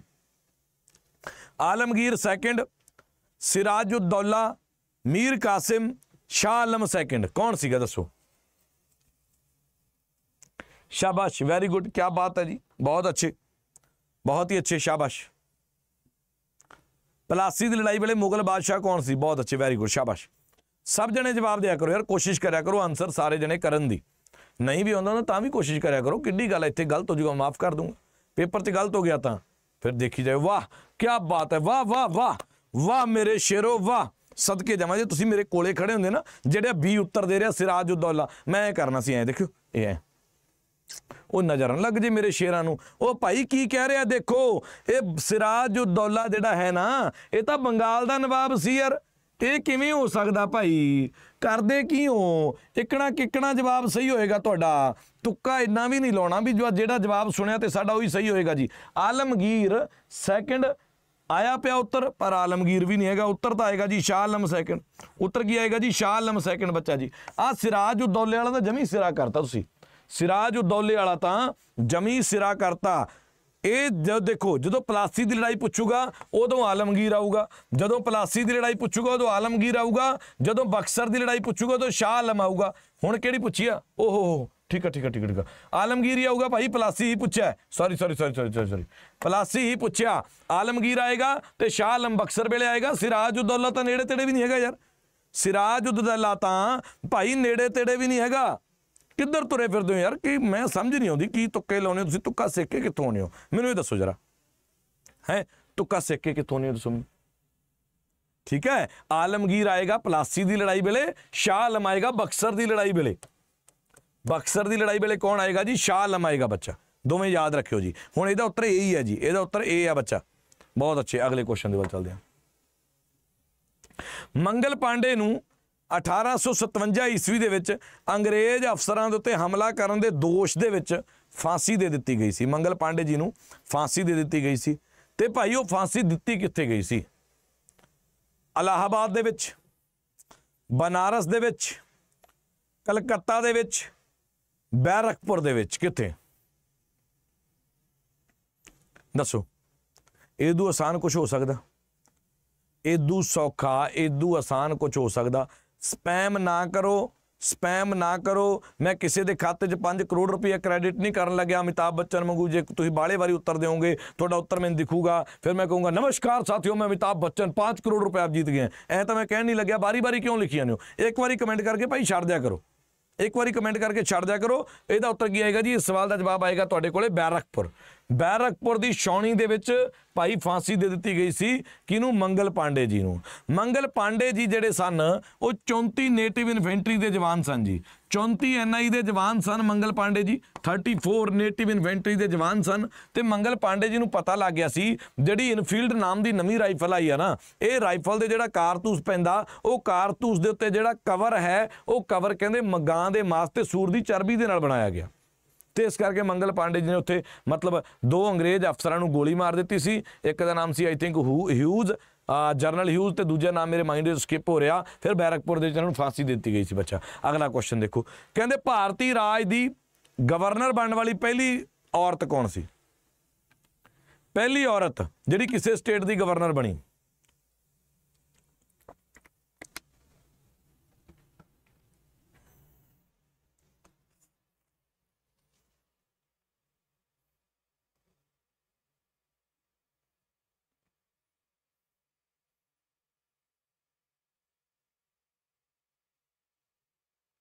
ਸ਼ਾਬਾਸ਼। ਭਾਰਤੀ ਸਟੇਟ ਦੀ ਗਵਰਨਰ ਬਣਨ ਵਾਲੀ ਪਹਿਲੀ ਔਰਤ ਕੌਣ ਸੀ? ਪਹਿਲੀ ਔਰਤ ਸੀਗੀ ਜੀ ਸਾਡੇ ਕੋਲੇ ਸਰੋਜਨੀ ਨਾਇਡੂ। ਸਰੋਜਨੀ ਨਾਇਡੂ ਪਹਿਲੀ ਔਰਤ ਸੀ ਜਿਹੜੀ ਕਿਸੇ ਸਟੇਟ ਦੀ ਕੀ ਬਣੀ ਸੀ ਬੱਚਾ? ਗਵਰਨਰ ਬਣੀ ਸੀ। ਤੇ ਉਹ ਸਰੋਜਨੀ ਨਾਇਡੂ ਜੇ ਗਵਰਨਰ ਬਣੀ ਸੀ, ਕਿਹੜੀ ਸਟੇਟ ਦੀ? ਸਰ ਜੀ ਯੂਪੀ ਦੀ। ਯੂਪੀ ਦੀ, ਯਾਨੀ ਕਿ ਯੂਪੀ ਉੱਤਰ ਪ੍ਰਦੇਸ਼ ਦੀ ਪਹਿਲੀ ਗਵਰਨਰ ਔਰਤ ਬਣੀ ਸੀ ਸਰੋਜਨੀ ਨਾਇਡੂ। ਯੂਪੀ ਨੇ ਹੀ ਸਾਨੂੰ ਪਹਿਲੀ ਔਮਨ ਸੀਐਮ ਵੀ ਦਿੱਤੀ ਹੈ ਜੀ। ਯੂਪੀ ਨੇ ਪਹਿਲੀ ਔਮਨ ਸੀਐਮ ਜੇ ਨਾਮ ਸੀ ਸੁਚੇਤਾ ਕਿਰਪਲਾਨੀ।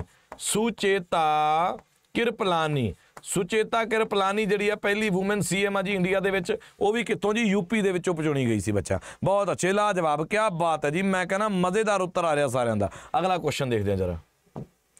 ਅਗਲਾ ਸਵਾਲ ਦੇਖੋ। ਕਹਿੰਦੇ ਭਾਰਤ ਦੇ ਗਵਰਨਰ ਜਨਰਲ ਨੂੰ ਪਹਿਲੀ ਵਾਰ ਵਾਇਸਰਾਏ ਦੀ ਉਪਾਧੀ ਕਦੋਂ ਦਿੱਤੀ ਗਈ ਸੀ? ਪਹਿਲੀ ਵਾਰੀ ਵਾਇਸਰਾਏ ਦੀ ਉਪਾਧੀ ਕਦੋਂ ਦਿੱਤੀ ਗਈ ਸੀ? 1859 ਈਸਵੀ ਦੇ ਵਿੱਚ 1858 ਈਸਵੀ ਦੇ ਵਿੱਚ 1856 ਈਸਵੀ ਦੇ ਵਿੱਚ ਜਾਂ ਫਿਰ 1857 ਈਸਵੀ ਦੇ ਵਿੱਚ? ਪਹਿਲੀ ਵਾਰੀ ਵਾਇਸਰਾਏ ਕਦੋਂ ਬਣਾਇਆ ਗਿਆ ਸੀ?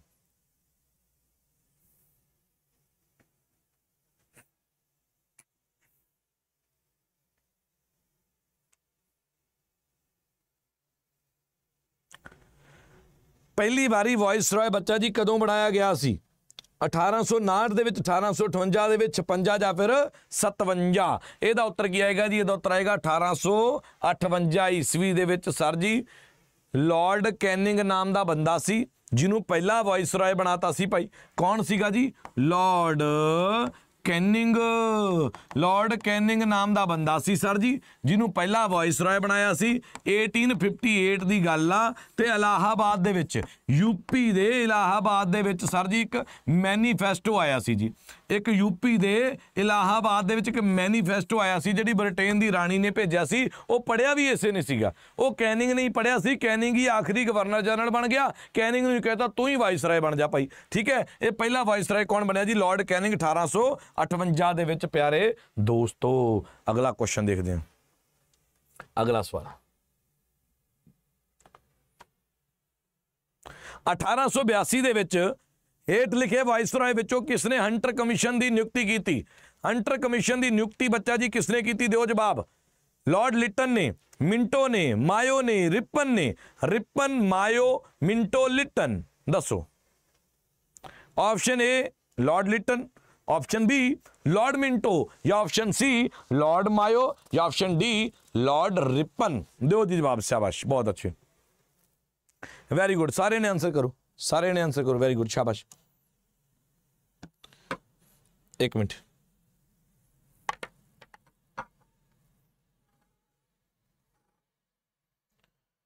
ਮਿੱਟੀ ਦੇ ਟਿੱਬੇ ਦੇ ਖੱਬੇ ਪਾਸੇ, ਟੋਬੇ ਦੇ ਨਾਲੋਂ ਨਾਲ ਨੀ। ਵਿੱਚ ਚਰਾਂਦਾਂ ਦੇ ਪੇਡਾਂ ਜੋ ਚਾਰੇ ਤੂੰ ਬਾਬੇ ਤੋਂ ਪੁੱਛੀ, ਮੇਰਾ ਹਾਲ? ਸੜਕ ਬੰਨੇ ਤੇਰੇ ਕਮਰੇ ਦੀ ਖਿੜਕੀ ਤੇ ਖਿੜਕੀ ਤੇ ਆਹੇ ਹਾਂ 1882 ਦੇ ਦੇਖੋ ਹੰਟਰ ਕਮਿਸ਼ਨ ਇੱਕ ਵਾਰੀ ਨਹੀਂ ਆਇਆ ਭਾਰਤ ਦੇ ਵਿੱਚ, ਪਹਿਲਾਂ ਤਾਂ ਇਹ ਗੱਲ ਕਲੀਅਰ ਰੱਖਿਓ ਜੀ। ਹੰਟਰ ਕਮਿਸ਼ਨ ਦੋ ਵਾਰੀ ਆਇਆ ਆਪਣੇ ਹਿੰਦੁਸਤਾਨ ਦੇ ਵਿੱਚ, ਇੱਕ ਆਇਆ ਜੀ 1882 ਦੇ ਵਿੱਚ।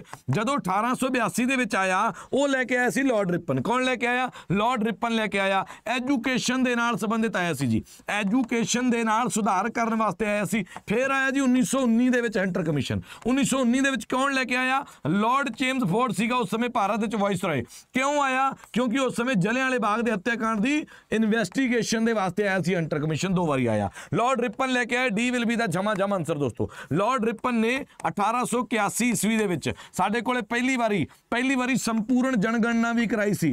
ਯਾਨੀ ਕਿ ਸਿਨਕਨੋਰਾਈਜ਼ ਸੈਂਸਸ ਵੀ ਕਰਵਾਇਆ ਸੀ ਪਹਿਲੀ ਵਾਰੀ। Press vernacular act, press vernacular act, ਉਹ ਵੀ ਕਹਿੰਦੇ ਖਤਮ ਕਿਹਨੇ ਕੀਤਾ? ਲਾਰਡ ਰਿਪਨ ਨੇ ਖਤਮ ਕੀਤਾ, ਪਿਆਰੇ ਬੱਚਿਓ, ਬਹੁਤ ਅੱਛੇ ਕੀ ਬਾਤ ਹੈ ਜੀ, ਲਾਜਵਾਬ, ਸ਼ਾਨਦਾਰ, ਬਹੁਤ ਹੀ ਅੱਛੇ।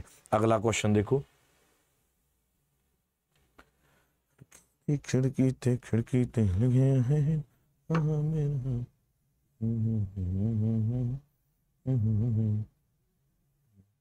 ਸ਼ਾਬਾਸ਼ ਵੈਰੀ ਗੁੱਡ ਕਹਿੰਦੇ ਜੀ, ਕਿਸ ਐਕਟ ਨੂੰ ਮੌਂਟੇਗਿਊ ਚੇਮਸ ਫੋਰਡ ਰਿਫਾਰਮ ਦੇ ਵਜੋਂ ਜਾਣਿਆ ਜਾਂਦਾ ਜੀ? ਮੌਂਟੇਗਿਊ ਚੇਮਸ ਫੋਰਡ ਰਿਫਾਰਮ ਦੇ ਨਾਮ ਦੇ ਨਾਲ ਜਾਣਿਆ ਜਾਂਦਾ ਜੀ। ਕਿਹੜੇ ਐਕਟ ਨੂੰ ਬੱਚਾ? ਇੰਡੀਅਨ ਇੰਡੀਪੈਂਡੈਂਸ ਐਕਟ 1947 ਨੂੰ ਇੰਡੀਅਨ ਗਵਰਨਮੈਂਟ ਐਕਟ 1919 ਨੂੰ ਪਿਟਸ ਇੰਡੀਆ ਐਕਟ 1784 ਨੂੰ ਜਾਂ ਚਾਰਟਰ ਐਕਟ 1813 ਨੂੰ ਪਿਆਰੇ ਬੱਚਿਓ। ਦੱਸੋ ਕਿਹਨੂੰ ਕਹਿੰਦੇ ਆਪਾਂ ਮੌਂਡੇਗਿਊ ਚੇਮਸ ਫੋਰਡ ਰਿਫਾਰਮ ਜਿਹੜਾ ਹੁਣ ਵੀ ਇਹਦਾ ਜਵਾਬ ਨਾ ਦੇ ਪਾਇਆ, ਤੇ ਚੁੱਪ ਕਰਕੇ ਬਾਈ ਜੀ ਆਪਦੇ ਨੇੜੇ ਤੇੜੇ ਕੋਈ ਇਲਾਕੇ ਦੇਖ ਲਓ, ਜਿੱਥੇ ਬੱਸਾਂ ਬੁੱਸਾਂ ਵਧੀਆ ਰੁਕਦੀਆਂ ਹੋਣ ਤੇ ਗੋਲ ਗੱਪਿਆਂ ਦੀ ਰੇੜੀ ਲਾਉਣੀ ਸ਼ੁਰੂ ਕਰ ਦਿਓ। ਕਿਉਂਕਿ ਮੈਂ 2 ਮਿੰਟ ਪਹਿਲਾਂ ਇਹ ਗੱਲ ਬੋਲੀ ਸੀ 1 ਮਿੰਟ ਵੀ ਨਹੀਂ ਹੋਇਆ ਉਸ ਗੱਲ ਨੂੰ। ਮੈਂ ਕਿਹਾ ਸੀ 1919 ਦੇ ਵੇਲੇ ਕੌਣ ਵਾਇਸ ਰਹੇ ਸੀਗਾ ਜੀ? ਤੁਸੀਂ ਕਿਹਾ ਜੀ ਚੇਮਸ ਫੋਰਡ ਕੌਣ ਸੀਗਾ? Chelmsford. ਹੁਣ ਇਹ ਕੀ ਪੁੱਛ ਰਿਹਾ ਜੀ, ਇਹ ਕਹਿੰਦਾ ਮੌਂਟੇਗਿਊ ਚੇਮਸ ਫੋਰਡ ਕਦੋਂ ਆਇਆ? ਯਾਨੀ ਕਿ 1919 ਦੇ ਵਿੱਚ ਆਇਆ ਹੋਏਗਾ। ਜੀ ਹਾਂ, ਯਾਨੀ ਕਿ ਇੰਡੀਅਨ ਗਵਰਨਮੈਂਟ ਐਕਟ ਆਫ 1919 ਨੂੰ ਮੌਂਟੇਗਿਊ ਚੇਮਸ ਫੋਰਡ ਰਿਫਾਰਮ ਬੋਲਿਆ ਜਾਂਦਾ ਜੀ। ਮੌਂਟੇਕਿਊ ਚੇਮਸਫੋਰਡ ਰਿਫਾਰਮ ਬੋਲਿਆ ਜਾਂਦਾ। Be that will be the ਜਮਾ ਜਮ ਆਨਸਰ ਬੀ ਬਿਲਕੁਲ ਸਹੀ ਉੱਤਰ ਹੈ ਜੀ। ਮੌਂਟੇਕਿਊ ਕੌਣ ਸੀਗਾ ਜੀ? ਉਹਦਾ ਸੈਕਟਰੀ ਸੀਗਾ ਤੇ ਚੇਮਸਫੋਰਡ ਕੌਣ ਸੀ ਉਸ ਸਮੇਂ ਦਾ? ਵਾਇਸ ਰੋਏ ਸੀ ਪਿਆਰੇ ਬੱਚਿਓ। ਤੇ ਜੇ ਮੈਂ ਗੱਲ ਕਰਾਂ ਇਸ ਐਕਟ ਦੀ, ਤਾਂ ਇਹਦੇ ਤਹਿਤ ਕਹਿੰਦੇ ਡਾਇਰਕੀ ਸਿਸਟਮ ਨੂੰ ਇੰਡੀਆ ਦੇ ਵਿੱਚ ਇੰਟਰੋਡਿਊਸ ਕੀਤਾ ਗਿਆ। ਇੰਡੀਆ 'ਚ ਨਹੀਂ ਸੌਰੀ ਡਾਇਰਕੀ ਸਿਸਟਮ ਨੂੰ ਪ੍ਰੋਵਿੰਸਿਸ ਦੇ ਵਿੱਚ। ਪ੍ਰੋ ਵਿੰਸਿਸ ਦੇ ਵਿੱਚ, ਯਾਨੀ ਕਿ ਦੇਸੀ ਰਿਆਸਤਾਂ ਦੇ ਵਿੱਚ ਦੋਹਰੀ ਸਦਨ ਪ੍ਰਣਾਲੀ, ਦੋਹਰਾ ਸ਼ਾਸਨ ਸ਼ੁਰੂ ਕਰ ਦਿੱਤਾ ਸੀ ਇਸ ਐਕਟ ਦੇ ਤਹਿਤ, ਪਿਆਰੇ ਬੱਚਾ ਜੀ। ਅਗਲਾ ਕੁਐਸਚਨ ਦੇਖੋ ਕੀ ਕਹਿੰਦਾ। ਅਗਲਾ ਸਵਾਲ, ਕਹਿੰਦੇ ਯੂਨਾਈਟਿਡ ਕਿੰਗਡਮ ਦੇ 7 ਮੈਂਬਰ ਸੀ। 7 ਮੈਂਬਰਾਂ ਦਾ ਇੱਕ ਸਮੂਹ ਸੀ, ਜਿਸ ਦਾ ਗਠਨ ਬ੍ਰਿਟਿਸ਼ ਭਾਰਤ ਲਈ ਸੰਵਿਧਾਨਿਕ ਸੁਧਾਰਾਂ ਦਾ ਸੁਝਾਅ ਦੇਣ ਦੇ ਲਈ ਕੀਤਾ ਗਿਆ ਸੀ ਜੀ। ਭਾਰਤ ਦੇ ਵਿੱਚ ਸੰਵਿਧਾਨਿਕ ਸੁਧਾਰਾਂ ਦਾ ਸੁਝਾਅ ਦੇਣ ਦੇ ਲਈ ਇੱਕ ਕਮਿਸ਼ਨ ਬਣਾਇਆ ਗਿਆ ਬੱਚਾ ਉਹ ਕਹਿੰਦੇ 7 ਮੈਂਬਰਾਂ ਦਾ ਗਰੁੱਪ ਸੀ 7 ਦੇ 7 ਗੋਰੇ ਸੀ, ਉਹ ਕਮਿਸ਼ਨ ਹੋਰ ਕੋਈ ਨਹੀਂ ਬੱਚਾ ਜੀ, ਉਹ ਸੀਗਾ ਜੀ ਸਾਈਮਨ ਕਮਿਸ਼ਨ। ਸਾਈਮਨ ਕਮਿਸ਼ਨ, ਇਹ ਬਣਿਆ ਕਦੋਂ? 1927 ਦੇ ਵਿੱਚ। ਬਣਿਆ ਕਦੋਂ ਜੀ 1927 ਦੇ ਵਿੱਚ? ਹਿੰਦੁਸਤਾਨ ਦੇ ਵਿੱਚ ਕਦੋਂ ਆਇਆ? 1928 ਦੇ ਵਿੱਚ। ਕਿੰਨੇ ਵਾਰੀ ਆਇਆ? ਦੋ ਵਾਰੀ ਆਇਆ। ਪਹਿਲਾਂ ਆਇਆ ਜੀ ਬੰਬੇ ਦੇ ਵਿੱਚ। ਬੰਬੇ ਵਾਲਿਆਂ ਨੇ ਬਾਈ ਜੀ ਚਪਲੀਆਂ ਚੱਕ ਲਈਆਂ, ਮਗਰ ਪੈ ਗਏ, ਭੱਜ ਗਏ ਇਹ। ਫਿਰ ਆਇਆ ਜੀ ਲਾਹੌਰ ਦੇ ਵਿੱਚ। ਲਾਹੌਰ 'ਚ ਲਾਲਾ ਜੀ ਨੇ ਟੰਬਾ ਚੱਕ ਲਿਆ। ਲਾਲਾ ਜੀ ਮਗਰ ਪੈ ਗਏ ਇਹਨਾਂ ਦੇ ਭਾਈ। ਪਰ ਉੱਥੇ ਭਾਈ ਇਹਨਾਂ ਨੇ ਲਾਠੀ ਚਾਰਜ ਕਰਤਾ ਤੇ ਲਾਲਾ ਲਾਜਪਤ ਰਾਏ ਜੀ ਜ਼ਖਮੀ ਹੋ ਗਏ। ਆਉਣ ਵਾਲੇ ਦਿਨਾਂ ਦੇ ਵਿੱਚ 27 ਅ, 17 ਨਵੰਬਰ ਨੂੰ ਲਾਲਾ ਜੀ ਦੁਨੀਆ ਛੱਡ ਕੇ ਚਲੇ ਗਏ ਪਿਆਰੇ ਬੱਚਿਓ। ਸਾਈਮਨ ਕਮਿਸ਼ਨ ਦਾ ਗਰੁੱਪ ਸੀ ਜਿਹਦੇ 7 ਮੈਂਬਰ ਸੀ ਤੇ ਸੱਤੇ ਦੇ ਸੱਤੇ ਕੀ ਸਨ ਭਾਈ? ਸੱਤੇ ਦੇ ਸੱਤੇ ਗੋਰੇ ਸੀ ਯਾਨੀ ਕਿ ਗਰੇਜ ਸੀਗੇ ਭਾਈ। ਗਰੇਜ। ਅੱਗੇ ਚੱਲਦੇ ਹਾਂ ਜੀ ਅਗਲਾ ਸਵਾਲ ਦੇਖਦੇ ਹਾਂ ਅਗਲਾ ਕੁਐਸਚਨ ਆ ਗਿਆ। ਸਾਡਾ ਰਾਸ਼ਟਰੀ ਗੀਤ ਜਨ ਗਣ ਮਨ। ਪਹਿਲਾਂ ਤਾਂ ਭਾਈ ਮੈਂ ਸਦਕੇ ਜਾਵਾਂ ਟਰਾਂਸਲੇਟਰ ਦੀ। ਆ ਗੂਗਲ ਟਰਾਂਸਲੇਟਰ ਨੂੰ ਮੈਂ ਦੱਸਣਾ ਚਾਹਣਾ ਜਿੱਥੇ ਐਂਥਮ ਆ ਜੇ, ਉੱਥੇ ਗੀਤ ਨਹੀਂ ਹੁੰਦਾ, ਉੱਥੇ ਗਾਣ ਹੁੰਦਾ ਭਾਈ। ਉੱਥੇ ਕੀ ਹੁੰਦਾ ਜੀ? ਗਾਣ ਹੁੰਦਾ। ਰਾਸ਼ਟਰੀ ਗਾਣ ਜਨ ਗਣ ਮਨ। ਜਿਹੜਾ ਰਾਸ਼ਟਰੀ ਗਾਣ ਹੈ ਜੀ ਜਨ ਗਣ ਮਨ, ਇਹ ਕਿਹੜੀ ਭਾਸ਼ਾ ਤੋਂ ਅਪਣਾਇਆ ਗਿਆ ਜੀ? ਦੱਸੋ ਬੱਚਾ। ਕਿਹੜੀ ਭਾਸ਼ਾ ਤੋਂ ਅਪਣਾਇਆ ਗਿਆ? ਹਿੰਦੀ ਤੋਂ, ਮਰਾਠੀ ਤੋਂ ਅਸਾਮ ਤੋਂ ਜਾਂ ਬੰਗਾਲੀ ਤੋਂ? ਸ਼ਾਬਾਸ਼। ਦੇਖੋ ਕਾਮਨ ਸੈਂਸ ਹੈ ਯਾਰ, ਨਹੀਂ ਵੀ ਆਉਂਦਾ ਤਾਂ ਵੀ ਹਿਸਾਬ ਲਾ ਲਿਆ ਕਰੋ। ਜਨ ਗਣ ਕਿਹਨੇ ਲਿਖਿਆ ਰਵਿੰਦਰਨਾਥ ਟੈਗੋਰ ਨੇ ਜੀ? ਕਿਹਨੇ ਲਿਖਿਆ? ਰਵਿੰਦਰਨਾਥ ਟੈਗੋਰ ਨੇ। ਤੇ ਰਵਿੰਦਰਨਾਥ ਟੈਗੋਰ ਜੀ ਕਿੱਥੋਂ ਦੇ ਰਹਿਣ ਵਾਲੇ ਸਨ? ਸਰ ਜੀ, ਬੰਗਾਲ ਦੇ। ਮੈਂ ਪਹਿਲਾਂ ਵੀ ਇੱਕ ਵਾਰੀ ਗੱਲ ਬੋਲੀ ਸੀ, ਮੇਰੀ ਇੰਸਟਾਗ੍ਰam ਦੀ ਆਈਡੀ ਤੇ ਉਹ ਵੀਡੀਓ ਵੀ ਪਾਈ ਹੋਈ ਹੈ, ਕਿਸੇ ਬੱਚੇ ਨੇ ਕੱਟ ਕੇ ਭੇਜੀ ਸੀ ਮੈਨੂੰ। ਮੈਂ ਉੱਥੇ ਵੀ ਬੋਲਿਆ ਸੀ ਇਹ, ਵੀ ਜੇ ਭਾਈ ਬੰਗਾਲ ਦਾ ਬੰਦਾ ਹੈ ਜਿਹੜਾ ਉਹ ਬੰਗਾਲ ਦਾ ਬੰਦਾ ਕਿਹੜੀ ਭਾਸ਼ਾ 'ਚ ਲਿਖੂਗਾ? ਸਰ ਜੀ, ਬੰਗਾਲੀ 'ਚ ਲਿਖੂਗਾ। ਬੰਗਾਲ ਦਾ ਬੰਦਾ ਕਿਹੜੀ ਲੈਂਗੁਏਜ 'ਚ ਲਿਖੂ? ਬੰਗਾਲੀ 'ਚ ਲਿਖੂਗਾ। ਤੇ ਭਾਈ ਬੰਗਾਲ ਦਾ ਬੰਦਾ ਹੈ ਤਾਂ ਬੰਗਾਲੀ 'ਚ ਲਿਖੂਗਾ। ਹਾਂਜੀ, ਰਾਸ਼ਟਰੀ ਗਾਣ ਬੰਗਾਲੀ 'ਚ ਲਿਖਿਆ ਗਿਆ ਸੀ ਜੀ। ਰਾਸ਼ਟਰੀ ਗਾਣ ਭਾਈ ਬੰਗਾਲੀ 'ਚ ਹੀ ਲਿਖਿਆ ਗਿਆ ਸੀ। ਇਹਦਾ ਹਿੰਦੀ ਵਰਜਨ 24 ਜਨਵਰੀ ਨੂੰ। ਇਹਦਾ ਹਿੰਦੀ ਵਰਜਨ ਬੱਚਾ ਜੀ 24 ਜਨਵਰੀ 1950 ਨੂੰ ਅਪਣਾਇਆ ਗਿਆ ਸੀ। ਤੇ ਇਹ ਵੀ ਕਿਹਾ ਗਿਆ ਵੀ 48 ਤੋਂ 52 ਸਕਿੰਟਾਂ ਦੇ ਵਿਚਕਾਰ ਹੀ ਗਾਉਣਾ ਪਏਗਾ ਜਨ, ਗਣ, ਮਨ, ਅਧਿਨਾਇਕ, ਜਾਇਆ ਹੈ, ਭਾਰਤ ਭਾਗਯ ਵਿਦਾਤਾ ਇਹ ਸਾਰਾ ਕੁਝ ਭਾਈ ਉੱਥੇ ਲਿਖਿਆ ਗਿਆ ਜੀ। ਵੈਰੀ ਗੁੱਡ ਸ਼ਾਬਾਸ਼। ਅਗਲੇ ਕੁਐਸਚਨ ਦੇ ਵੱਲ ਚੱਲਦੇ ਹਾਂ। ਅਗਲਾ ਸਵਾਲ। ਲਓ ਜੀ, ਅਗਲਾ ਕੁਐਸਚਨ ਆ ਗਿਆ। ਭਾਰਤ ਛੱਡੋ ਅੰਦੋਲਨ ਕਦੋਂ ਸ਼ੁਰੂ ਹੋਇਆ? ਕੁਇਟ ਇੰਡੀਆ ਮੂਵਮੈਂਟ ਕਦੋਂ ਸਟਾਰਟ ਹੋਈ? 1930 ਦੇ ਵਿੱਚ। 1942 ਦੇ ਵਿੱਚ। 1932 ਦੇ ਵਿੱਚ ਜਾਂ ਫਿਰ 1940 ਦੇ ਵਿੱਚ। ਕੁਇਟ ਇੰਡੀਆ ਮੂਵਮੈਂਟ ਭਾਰਤ ਛੱਡੋ ਅੰਦੋਲਨ। ਬਾਕੀ ਜਿਹੜੇ ਮੇਰੇ ਨਾਲ ਬੱਚੇ ਇਸ ਟਾਈਮ ਜੁੜੇ ਹੋਏ ਆ, ਮੈਂ ਉਹਨਾਂ ਨੂੰ ਦੱਸਣਾ ਚਾਹੁੰਦਾ ਵੀ ਅਗਰ ਆਉਣ ਵਾਲੇ ਪੇਪਰਾਂ ਦੇ ਵਾਸਤੇ ਆਪਣੇ ਆਪ ਨੂੰ ਪ੍ਰਪੇਅਰ ਕਰਨਾ ਚਾਹੁੰਦੇ ਹੋ ਨਾ, ਤਾਂ ਆਪਦੇ ਆਪ ਦੇ ਮਾਈਂਡ ਸੈੱਟ ਨੂੰ ਹੁਣੇ ਨਾਲ ਹੀ ਤਕੜਾ ਕਰਕੇ ਰੱਖੋ, ਹੁਣੇ ਨਾਲ ਹੀ ਆਪਦੇ ਆਪ ਨੂੰ 5-5 6-6 ਘੰਟੇ ਬੈਠ ਕੇ ਪੜਨ ਦੀ ਆਦਤ ਪਾ ਲਓ। ਮੌਕੇ ਤੇ ਆ ਕੇ ਕੁਝ ਨਹੀਂ ਬਣਨਾ ਜੀ। ਇਹਦਾ ਉੱਤਰ ਕੀ ਆਏਗਾ ਜੀ? ਇਹਦਾ ਉੱਤਰ ਆਏਗਾ ਸਰ ਜੀ, ਸਾਡੇ ਕੋਲੇ 1942 ਦੈਟ ਵਿਲ ਬੀ ਦਾ ਜਮਾ ਜਮ ਆਨਸਰ ਭਾਰਤ ਛੱਡੋ ਅੰਦੋਲਨ ਕਦੋਂ ਸ਼ੁਰੂ ਹੋਇਆ ਸੀ? 1942 ਦੇ ਵਿੱਚ। ਇਹਦੀ ਐਗਜ਼ੈਕਟ ਡੇਟ ਕੀ ਆ ਜੀ? 8 ਅਗਸਤ ਸਰ ਇਹਦੀ ਐਗਜ਼ੈਕਟ ਡੇਟ ਕੀ ਹੈ ਜੀ? 8 ਅਗਸਤ 1942 ਨੂੰ ਕਹਿੰਦੇ ਭਾਰਤ ਛੱਡੋ ਅੰਦੋਲਨ। ਬੱਚਾ ਜੀ, ਸ਼ੁਰੂ ਹੋਇਆ ਸੀ ਭਾਰਤ ਛੱਡੋ ਅੰਦੋਲਨ। ਇਹ ਕਿਹਦੇ ਦੁਆਰਾ ਸ਼ੁਰੂ ਕੀਤਾ ਗਿਆ? ਬਾਏ ਮਹਾਤਮਾ ਗਾਂਧੀ ਦੁਆਰਾ ਜੀ। ਕਿਹਦੇ ਦੁਆਰਾ ਬੱਚਾ? ਮਹਾਤਮਾ ਗਾਂਧੀ ਦੁਆਰਾ ਸ਼ੁਰੂ ਕੀਤਾ ਗਿਆ ਬੱਚਾ ਜੀ। ਤੇ ਇੱਕ ਗੱਲ ਹੋਰ ਯਾਦ ਰੱਖਿਓ 9 ਅਗਸਤ ਨੂੰ ਅਗਲੇ ਹੀ ਦਿਨ ਮਹਾਤਮਾ ਗਾਂਧੀ ਜੀ ਹੁਣੀ ਗ੍ਰਿਫਤਾਰ ਹੋ ਗਏ। ਬਹੁਤ ਸਾਰੇ ਵੱਡੇ ਵੱਡੇ ਲੀਡਰਾਂ ਨੂੰ ਅਰੈਸਟ ਕਰ ਲਿਆ ਗਿਆ। ਤੇ ਇਸ ਮੂਵਮੈਂਟ ਨੂੰ, ਇਸ ਕੁਇਟ ਇੰਡੀਆ ਮੂਵਮੈਂਟ ਨੂੰ ਕਦੇ ਕਦੇ ਭਾਈ ਲੀਡਰਲੈਸ ਮੂਵਮੈਂਟ ਵੀ ਕਹਿ ਦਿੰਦੇ ਆ ਜੀ। ਕਦੇ ਕਦੇ ਲੀਡਰ ਲੀਡਰਲੈਸ ਮੂਵਮੈਂਟ ਵੀ ਕਹਿ ਦਿੱਤਾ ਜਾਂਦਾ, ਕਿਉਂਕਿ ਵੱਡੇ ਲੀਡਰ ਤਾਂ ਇਹ ਗ੍ਰਿਫਤਾਰ ਹੋ ਗਏ ਸੀ। ਲੀਡਰਲੈਸ ਮੂਵਮੈਂਟ ਵੀ ਕਈ ਵਾਰੀ ਕਹਿ ਦਿੰਦੇ ਆ। ਇਹ ਗੱਲ ਹੋਰ ਯਾਦ ਰੱਖਿਓ, ਇਸੇ ਮੂਵਮੈਂਟ ਦੇ ਦੌਰਾਨ ਮਹਾਤਮਾ ਗਾਂਧੀ ਜੀ ਨੇ ਡੂ ਔਰ ਡਾਈ ਦਾ ਨਾਰਾ ਲਗਾਇਆ ਜੀ। ਕਿਹੜਾ ਨਾਰਾ ਲਗਾਇਆ ਬੱਚਾ? ਡੂ ਔਰ ਡਾਈ ਦਾ ਨਾਰਾ ਲਗਾਇਆ ਮਹਾਤਮਾ ਗਾਂਧੀ ਜੀ ਨੇ। ਵੈਰੀ ਗੁੱਡ ਵੈਲ ਡਨ ਸ਼ਾਬਾਸ਼ ਕੀ ਬਾਤ। ਅਗਲਾ ਕੁਐਸਚਨ ਕਹਿੰਦੇ ਜੀ, ਭਾਰਤ ਵਿੱਚ ਪਹਿਲੀ ਰੇਲ ਗੱਡੀ 16 ਅਪ੍ਰੈਲ 1853 ਨੂੰ ਚਲਾਈ ਗਈ ਸੀ। ਉਸ ਸਮੇਂ ਭਾਰਤ ਦਾ ਗਵਰਨਰ ਜਨਰਲ ਕੌਣ ਸੀਗਾ ਜੀ? ਉਸ ਸਮੇਂ ਭਾਰਤ ਦਾ ਗਵਰਨਰ ਜਨਰਲ ਕੌਣ ਸੀਗਾ ਜੀ? ਹਰ ਰੋਜ਼ ਡੇਲੀ ਸ਼ਾਮ ਨੂੰ 5 ਵਜੇ ਕਲਾਸ ਹੁੰਦੀ ਹੈ ਭਾਈ, ਰੋਜ਼ ਆ ਜਾ ਕਰੋ। 1 ਘੰਟੇ ਦੀ ਕਲਾਸ ਨੇ ਧਮਾਕੇਦਾਰ ਤਰੀਕੇ ਨਾਲ, ਵਧੀਆ ਤਰੀਕੇ ਨਾਲ ਘੈਂਟ ਜਿਹੇ ਐਮਸੀਕਿਊ ਆਪਾਂ ਕਰਦੇ ਆ। ਜਿਹੜੇ ਪੇਪਰਾਂ 'ਚ ਤੁਹਾਨੂੰ ਵੇਖਣ ਨੂੰ ਮਿਲਣਗੇ, ਇਸ ਚੀਜ਼ ਦੀ ਮੈਂ ਗਾਰੰਟੀ ਦਿੰਦਾ। ਪਰ ਜੁੜਨਾ ਡੇਲੀ ਹੈ। ਜੁੜਨਾ ਬੱਚੋ ਡੇਲੀ ਹੈ ਆਪਾਂ। ਭਾਰਤ ਵਿੱਚ ਪਹਿਲੀ ਰੇਲ ਗੱਡੀ ਜਦੋਂ ਕਹਿੰਦੇ ਰੇਲ ਗੱਡੀ ਹਿੰਦੁਸਤਾਨ ਦੇ ਵਿੱਚ ਚਲਾਈ ਨਾ ਭਾਰਤ ਦੇ ਵਿੱਚ, ਤਾਂ ਭਾਰਤ ਦੇ ਵਾਵਾ ਸਾਰੇ ਲੋਕ ਵਿਰੋਧ ਕਰਨ ਲੱਗੇ। ਉਹ ਕਹਿੰਦੇ, ਨਾ ਬਾਈ, ਨਾ, ਅਸੀਂ ਨਹੀਂ ਚੜਦੇ ਕਹਿੰਦੇ, ਕਿਉਂ ਜੀ? ਕਹਿੰਦੇ, ਅਸੀਂ ਨਹੀਂ ਚੜਦੇ ਰੇਲ ਰੂਲ ਗੱਡੀ 'ਚ। ਕਹਿੰਦੇ, ਕੀ ਗੱਲ? ਕਹਿੰਦੇ, ਭਾਈ, ਇਹ ਲੋਹੇ ਦਾ ਡੱਬਾ ਜਿਹਾ ਬਣਾਇਆ ਗੋਰਿਆਂ ਨੇ। ਤੇ ਇਹ ਸੁਣਨ ਚ ਆਇਆ ਵੀ ਲੋਹੇ ਦਾ ਡੱਬਾ ਜਿਹਾ ਜਿਹੜਾ ਨਾ ਉਹ ਗਾਡਰਾਂ ਜਿਹਾ ਤੇ ਚੱਲਦਾਗਾ ਤੇ ਐ ਨਹੀਂ ਪਤਾ ਉਹ ਚੱਲਦਾ ਚੱਲਦਾ, ਭਾਈ ਇਹਨਾਂ ਦਾ ਕੀ ਪਤਾ ਕਿੱਥੇ ਪਲਟਾ ਕੇ ਆਪਾਂ ਨੂੰ ਮਾਰ ਦੇਣ। ਲੋਕ ਚੜਨ ਨਾ ਭਾਈ, ਡਰਦੇ ਫਿਰਨ। 1857 ਦੇ ਵਿਰੋਧ ਆ ਇਹ ਵੀ ਕਾਰਨ ਬਣ ਕੇ ਖੜ ਗਈ ਸੀ, ਕਹਿੰਦੇ ਟ੍ਰੇਨ ਕਿਉਂ ਚਲਾਈ ਆ ਭਾਈ? ਇਹ ਟ੍ਰੇਨ ਜਿਹੜੀ ਚਲਾਈ ਸੀ ਉਦੋਂ ਕੌਣ ਸੀਗਾ ਸਾਡੇ ਕੋਲੇ? ਗਵਰਨਰ ਜਨਰਲ ਆਫ ਇੰਡੀਆ ਕੌਣ ਸੀ ਬੱਚਾ? ਲਾਰਡ ਡਲਹੌਜ਼ੀ ਸੀਗਾ ਜੀ। ਕੌਣ ਸੀਗਾ? ਡਲਹੌਜ਼ੀ ਸੀ ਪਿਆਰੇ ਬੱਚਿਓ ਬੀ ਬਿਲਕੁਲ ਰਾਈਟ ਆਨਸਰ ਹੈ ਜੀ। ਡਲਹੌਜ਼ੀ ਨੇ 1853 ਦੇ ਵਿੱਚ ਪਈ ਰੇਲ ਗੱਡੀ ਚਲਵਾਈ ਸੀ ਪਹਿਲੀ ਵਾਰੀ। ਡਲਹੌਜੀ ਨੇ ਇੱਕ ਡਾਕਟ੍ਰਿਨ ਆਫ ਲੈਪਸ ਨਾਮ ਦੀ ਨੀਤੀ ਵੀ ਲਿਆਂਦੀ ਸੀ। ਅਗਲੇ ਕੁਐਸਚਨ ਦੇ ਵਿੱਚ ਉਹਦੀ ਗੱਲ ਕਰਾਂਗੇ ਆਪਾਂ। ਅਗਲੇ ਸਵਾਲ ਦੇ ਵਿੱਚ ਉਹਦੀ ਆਪਾਂ ਗੱਲ ਕਰਾਂਗੇ ਬੱਚਾ। ਲਾਰਡ ਡਲਹੌਜੀ ਦਾ ਸਮਾਂ ਜਿਹੜਾ ਹੈ, ਉਹ 1848 ਤੋਂ ਲੈ ਕੇ 1856 ਤੱਕ ਦਾ ਜੀ। ਡਲਹੌਜੀ ਦਾ ਸਮਾਂ 1848 ਤੋਂ ਲੈ ਕੇ 1856 ਤੱਕ ਦਾ। Annie Besant Indian National Congress ਦੀ ਪ੍ਰਧਾਨ ਕਦੋਂ ਬਣੀ ਸੀ? Annie Besant Indian National Congress ਦੀ ਬੱਚਾ ਜੀ ਪ੍ਰਧਾਨ ਕਦੋਂ ਬਣੀ ਸੀ ਦੱਸੋ?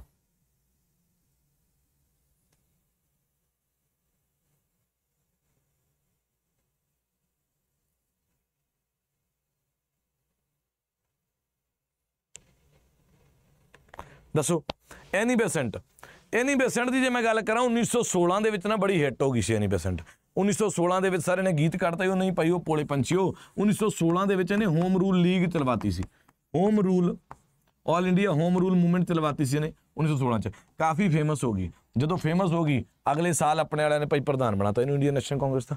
ਅਗਲੇ ਸਾਲ ਇਹਨੂੰ ਇੰਡੀਅਨ ਨੈਸ਼ਨਲ ਕਾਂਗਰਸ ਦਾ ਪ੍ਰਧਾਨ ਬਣਾਤਾ 1917 ਦੇ ਵਿੱਚ। 1917 ਦੇ ਵਿੱਚ ਕਲਕੱਤਾ ਸੈਸ਼ਨ ਹੋਇਆ ਸੀ ਬੱਚਾ। ਕਿਹੜਾ ਸੈਸ਼ਨ ਹੋਇਆ ਸੀ ਜੀ? ਕਲਕੱਤਾ ਸੈਸ਼ਨ ਹੋਇਆ ਸੀ 1917 ਦੇ ਵਿੱਚ। ਉਹਦੀ ਪ੍ਰਧਾਨ ਬਣਾਇਆ ਸੀ ਕਿਹਨੂੰ? ਐਨੀ ਬੈਸੈਂਟ ਨੂੰ ਬੱਚਾ ਜੀ 1917 ਦੇ ਵਿੱਚ। ਗੱਲ ਯਾਦ ਰੱਖਿਓ, ਇਹ ਪਹਿਲੀ ਔਮਨ ਇਹ ਪਹਿਲੀ ਔਮਨ ਸੀ ਜਿਹੜੀ ਇੰਡੀਅਨ ਨੈਸ਼ਨਲ ਕਾਂਗਰਸ ਦੀ ਪ੍ਰਧਾਨ ਬਣੀ ਸੀ। ਇਹ ਫਰਸਟ ਔਮਨ ਸੀ ਜਿਹੜੀ ਇੰਡੀਅਨ ਨੈਸ਼ਨਲ ਕਾਂਗਰਸ ਦੀ ਬੱਚਾ ਜੀ ਪ੍ਰਧਾਨ ਬਣੀ ਸੀ। ਪਹਿਲੀ ਔਮਨ ਇੰਡੀਅਨ ਨੈਸ਼ਨਲ ਕਾਂਗਰਸ ਦੀ ਪ੍ਰਧਾਨ।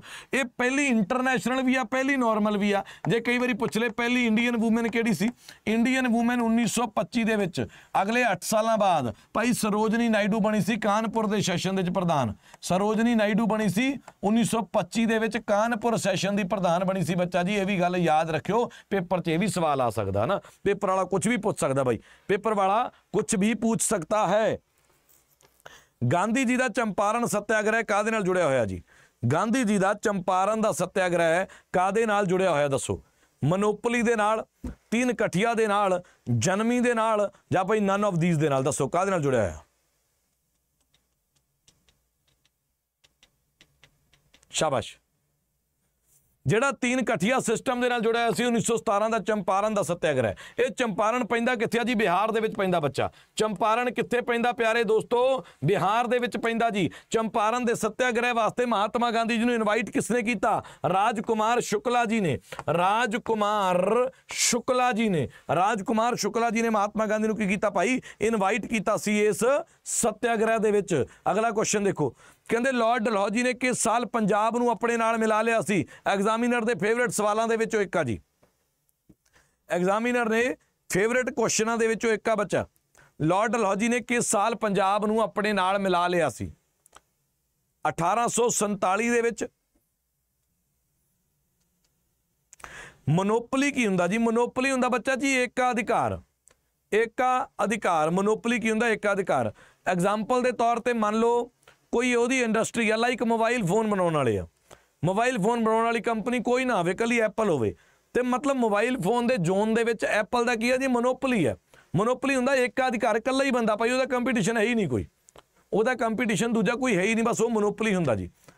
ਕਿਸੇ ਇਲਾਕੇ ਦੇ ਵਿੱਚ, ਆ, ਕੋਈ ਆਟੇ ਦੀ ਚੱਕੀ ਹੋਵੇ, ਉਹ ਆਟੇ ਦੀ ਚੱਕੀ ਤਿੰਨ ਚਾਰ ਪਿੰਡਾਂ ਦੇ ਵਿੱਚ ਇਕੱਲੀ ਆ। ਮਤਲਬ ਉਹ ਚੱਕੀ ਵਾਲੇ ਦੀ ਭਾਈ ਮੋਨੋਪੋਲੀ ਹੈ ਹੋਰ ਕੋਈ ਹੈ ਹੀ ਨਹੀਂ ਉੱਥੇ ਮੋਨੋਪੋਲੀ ਹੁੰਦੀ ਹੈ ਜੀ। ਇਹਦਾ ਉੱਤਰ ਕੀ ਆਏਗਾ? ਲਾਰਡ ਡਲਹੌਜੀ ਨੇ ਕਿਹੜੇ ਸਾਲ ਬੱਚਾ ਜੀ? 1849 ਈਸਵੀ ਦੇ ਪੰਜਾਬ ਨੂੰ ਭਾਈ ਅੰਗਰੇਜ਼ਾਂ ਦੇ ਰਾਜ ਦੇ ਅੰਡਰ ਕਰ ਲਿਆ ਸੀ। ਅੰਗਰੇਜ਼ਾਂ ਨੂੰ ਰਾਜ ਦੇ ਅੰਗਰੇਜ਼ਾਂ ਦੇ ਰਾਜ ਦੇ ਅੰਡਰ ਕਰ ਲਿਆ ਸੀ 1849 ਈਸਵੀ ਦੇ ਵਿੱਚ। ਬਹੁਤ ਅੱਛੇ ਕੀ ਬਾਤ ਹੈ ਜੀ। ਬਹੁਤ ਹੀ ਅੱਛੇ। ਅਗਲੇ ਕੁਐਸਚਨ ਦੇ ਵੱਲ ਚੱਲਦੇ ਹਾਂ ਜੀ।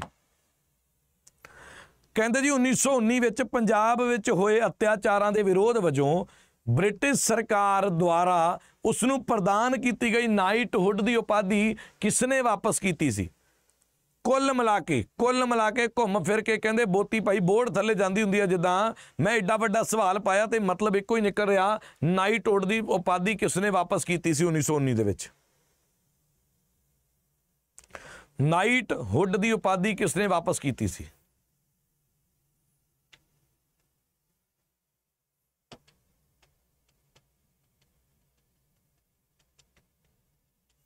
ਸੀ ਫੋਰ ਚੌਧਰੀ, ਜਿਵੇਂ ਗਗਨ ਸਰ ਕਹਿੰਦੇ ਸੀ ਫੋਰ ਚੌਧਰੀ, ਯਾਨੀ ਕਿ ਭਾਈ Rabindranath Tagore that will be the ਜਮਾ ਜਮ ਆਨਸਰ ਭੋਲੇ ਕਾ ਟਿੱਡਾ ਗਲਤ ਆ ਜੀ ਸੀ ਵਿਲ ਬੀ ਦਾ ਜਮਾ ਜਮ answer C will be the ਜਮਾ ਜਮ ਆਨਸਰ ਭਾਈ ਰਵਿੰਦਰਨਾਥ ਟੈਗੋਰ ਜੀ ਨੇ।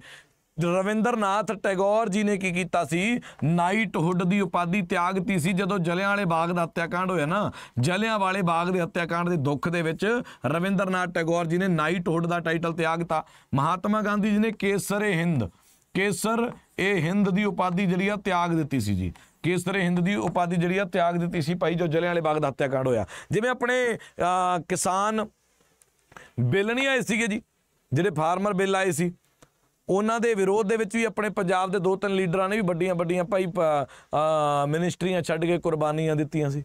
ਉਦਾਂ ਭਾਈ ਇਹਨਾਂ ਨੇ ਵੀ ਤਿਆਗੀਆਂ ਸੀ ਉਪਾਧੀਆਂ। ਕਹਿੰਦੇ ਕਾਂਗਰਸ ਦੀ ਵੰਡ ਹੇਠਾਂ ਲਿਖੇ ਸੈਸ਼ਨਾਂ ਵਿੱਚੋਂ ਕਿਸ ਵਿੱਚ ਹੋਈ ਸੀ? ਕਾਂਗਰਸ ਦੀ ਵੰਡ ਕਦੋਂ ਹੋਈ ਪਿਆਰੇ ਬੱਚੋ? ਕਦੋਂ ਹੋਈ ਜੀ? ਕਾਂਗਰਸ ਦੀ ਵੰਡ ਹੋਈ ਦੋਸਤੋ 1907 ਈਸਵੀ ਦੇ ਸੂਰਤ ਸਪਲਿਟ ਦੇ ਦੌਰਾਨ, ਸੂਰਤ ਦੇ ਸੈਸ਼ਨ ਦੌਰਾਨ। ਇੰਡੀਅਨ ਨੈਸ਼ਨਲ ਕਾਂਗਰਸ, ਗੱਗਾ ਗਰਮ ਦਲ, ਨੰਨਾ ਨਰਮ ਦਲ, ਦੋ ਭਾਗਾਂ ਦੇ ਵਿੱਚ ਵੰਡੀ ਗਈ ਸੀ ਪਿਆਰੇ ਬੱਚੋ ਇੰਡੀਅਨ ਨੈਸ਼ਨਲ ਕਾਂਗਰਸ ਦੀ ਜੇ ਮੈਂ ਗੱਲ ਕਰਾਂ। ਬਾਕੀ ਗੱਲ ਹੋਰ ਦੱਸਾਂ ਮੈਂ, ਇੱਕ ਗੱਲ ਹੋਰ ਦੱਸਾਂ, ਅਗਰ ਤੁਸੀਂ ਆਉਣ ਵਾਲੇ 2 ਸਾਲਾਂ 'ਚ ਪੰਜਾਬ ਦੇ ਸਾਰੇ ਪੇਪਰਾਂ ਦੀ ਤਿਆਰੀ ਕਰ ਰਹੇ ਹੋ, ਤਾਂ ਯੂ ਹੈਵ ਅ ਚਾਂਸ ਬੱਚਾ, ਤੁਹਾਡੇ ਕੋਲੇ ਚਾਂਸ ਹੈ 2 ਸਾਲਾਂ ਦੇ ਲਈ ਮੇਰੀ ਮੈਂਟੋਰਸ਼ਿਪ ਦੇ ਅੰਡਰ, ਮੇਰੀ ਗਾਈਡੈਂਸ ਦੇ ਅੰਡਰ ਪੰਜਾਬ ਦਾ ਮਹਾਪੈਕ ਜੁਆਇਨ ਕਰ ਸਕਦੇ ਹੋ। ਜਿਹੜਾ ਪੰਜਾਬ ਦਾ ਮਹਾਪੈਕ ਆਮ ਦਿਨਾਂ ਦੇ ਵਿੱਚ 3219 ਰੁਪਈਆਂ ਦਾ ਮਿਲਦਾ ਹੁੰਦਾ ਸੀ, ਉਹ ਅੱਜ ਪੰਜਾਬ ਦਾ Mahapack discount coupon code Y679 Y679 ਲਾਉਣ ਤੋਂ ਬਾਅਦ ਪੰਜਾਬ ਦਾ ਮਹਾਪੈਕ ਤੁਹਾਨੂੰ ਮਿਲ ਰਿਹਾ 1738 ਰੁਪਈਏ ਚ ਪੂਰੇ 2 ਸਾਲਾਂ ਵਾਸਤੇ।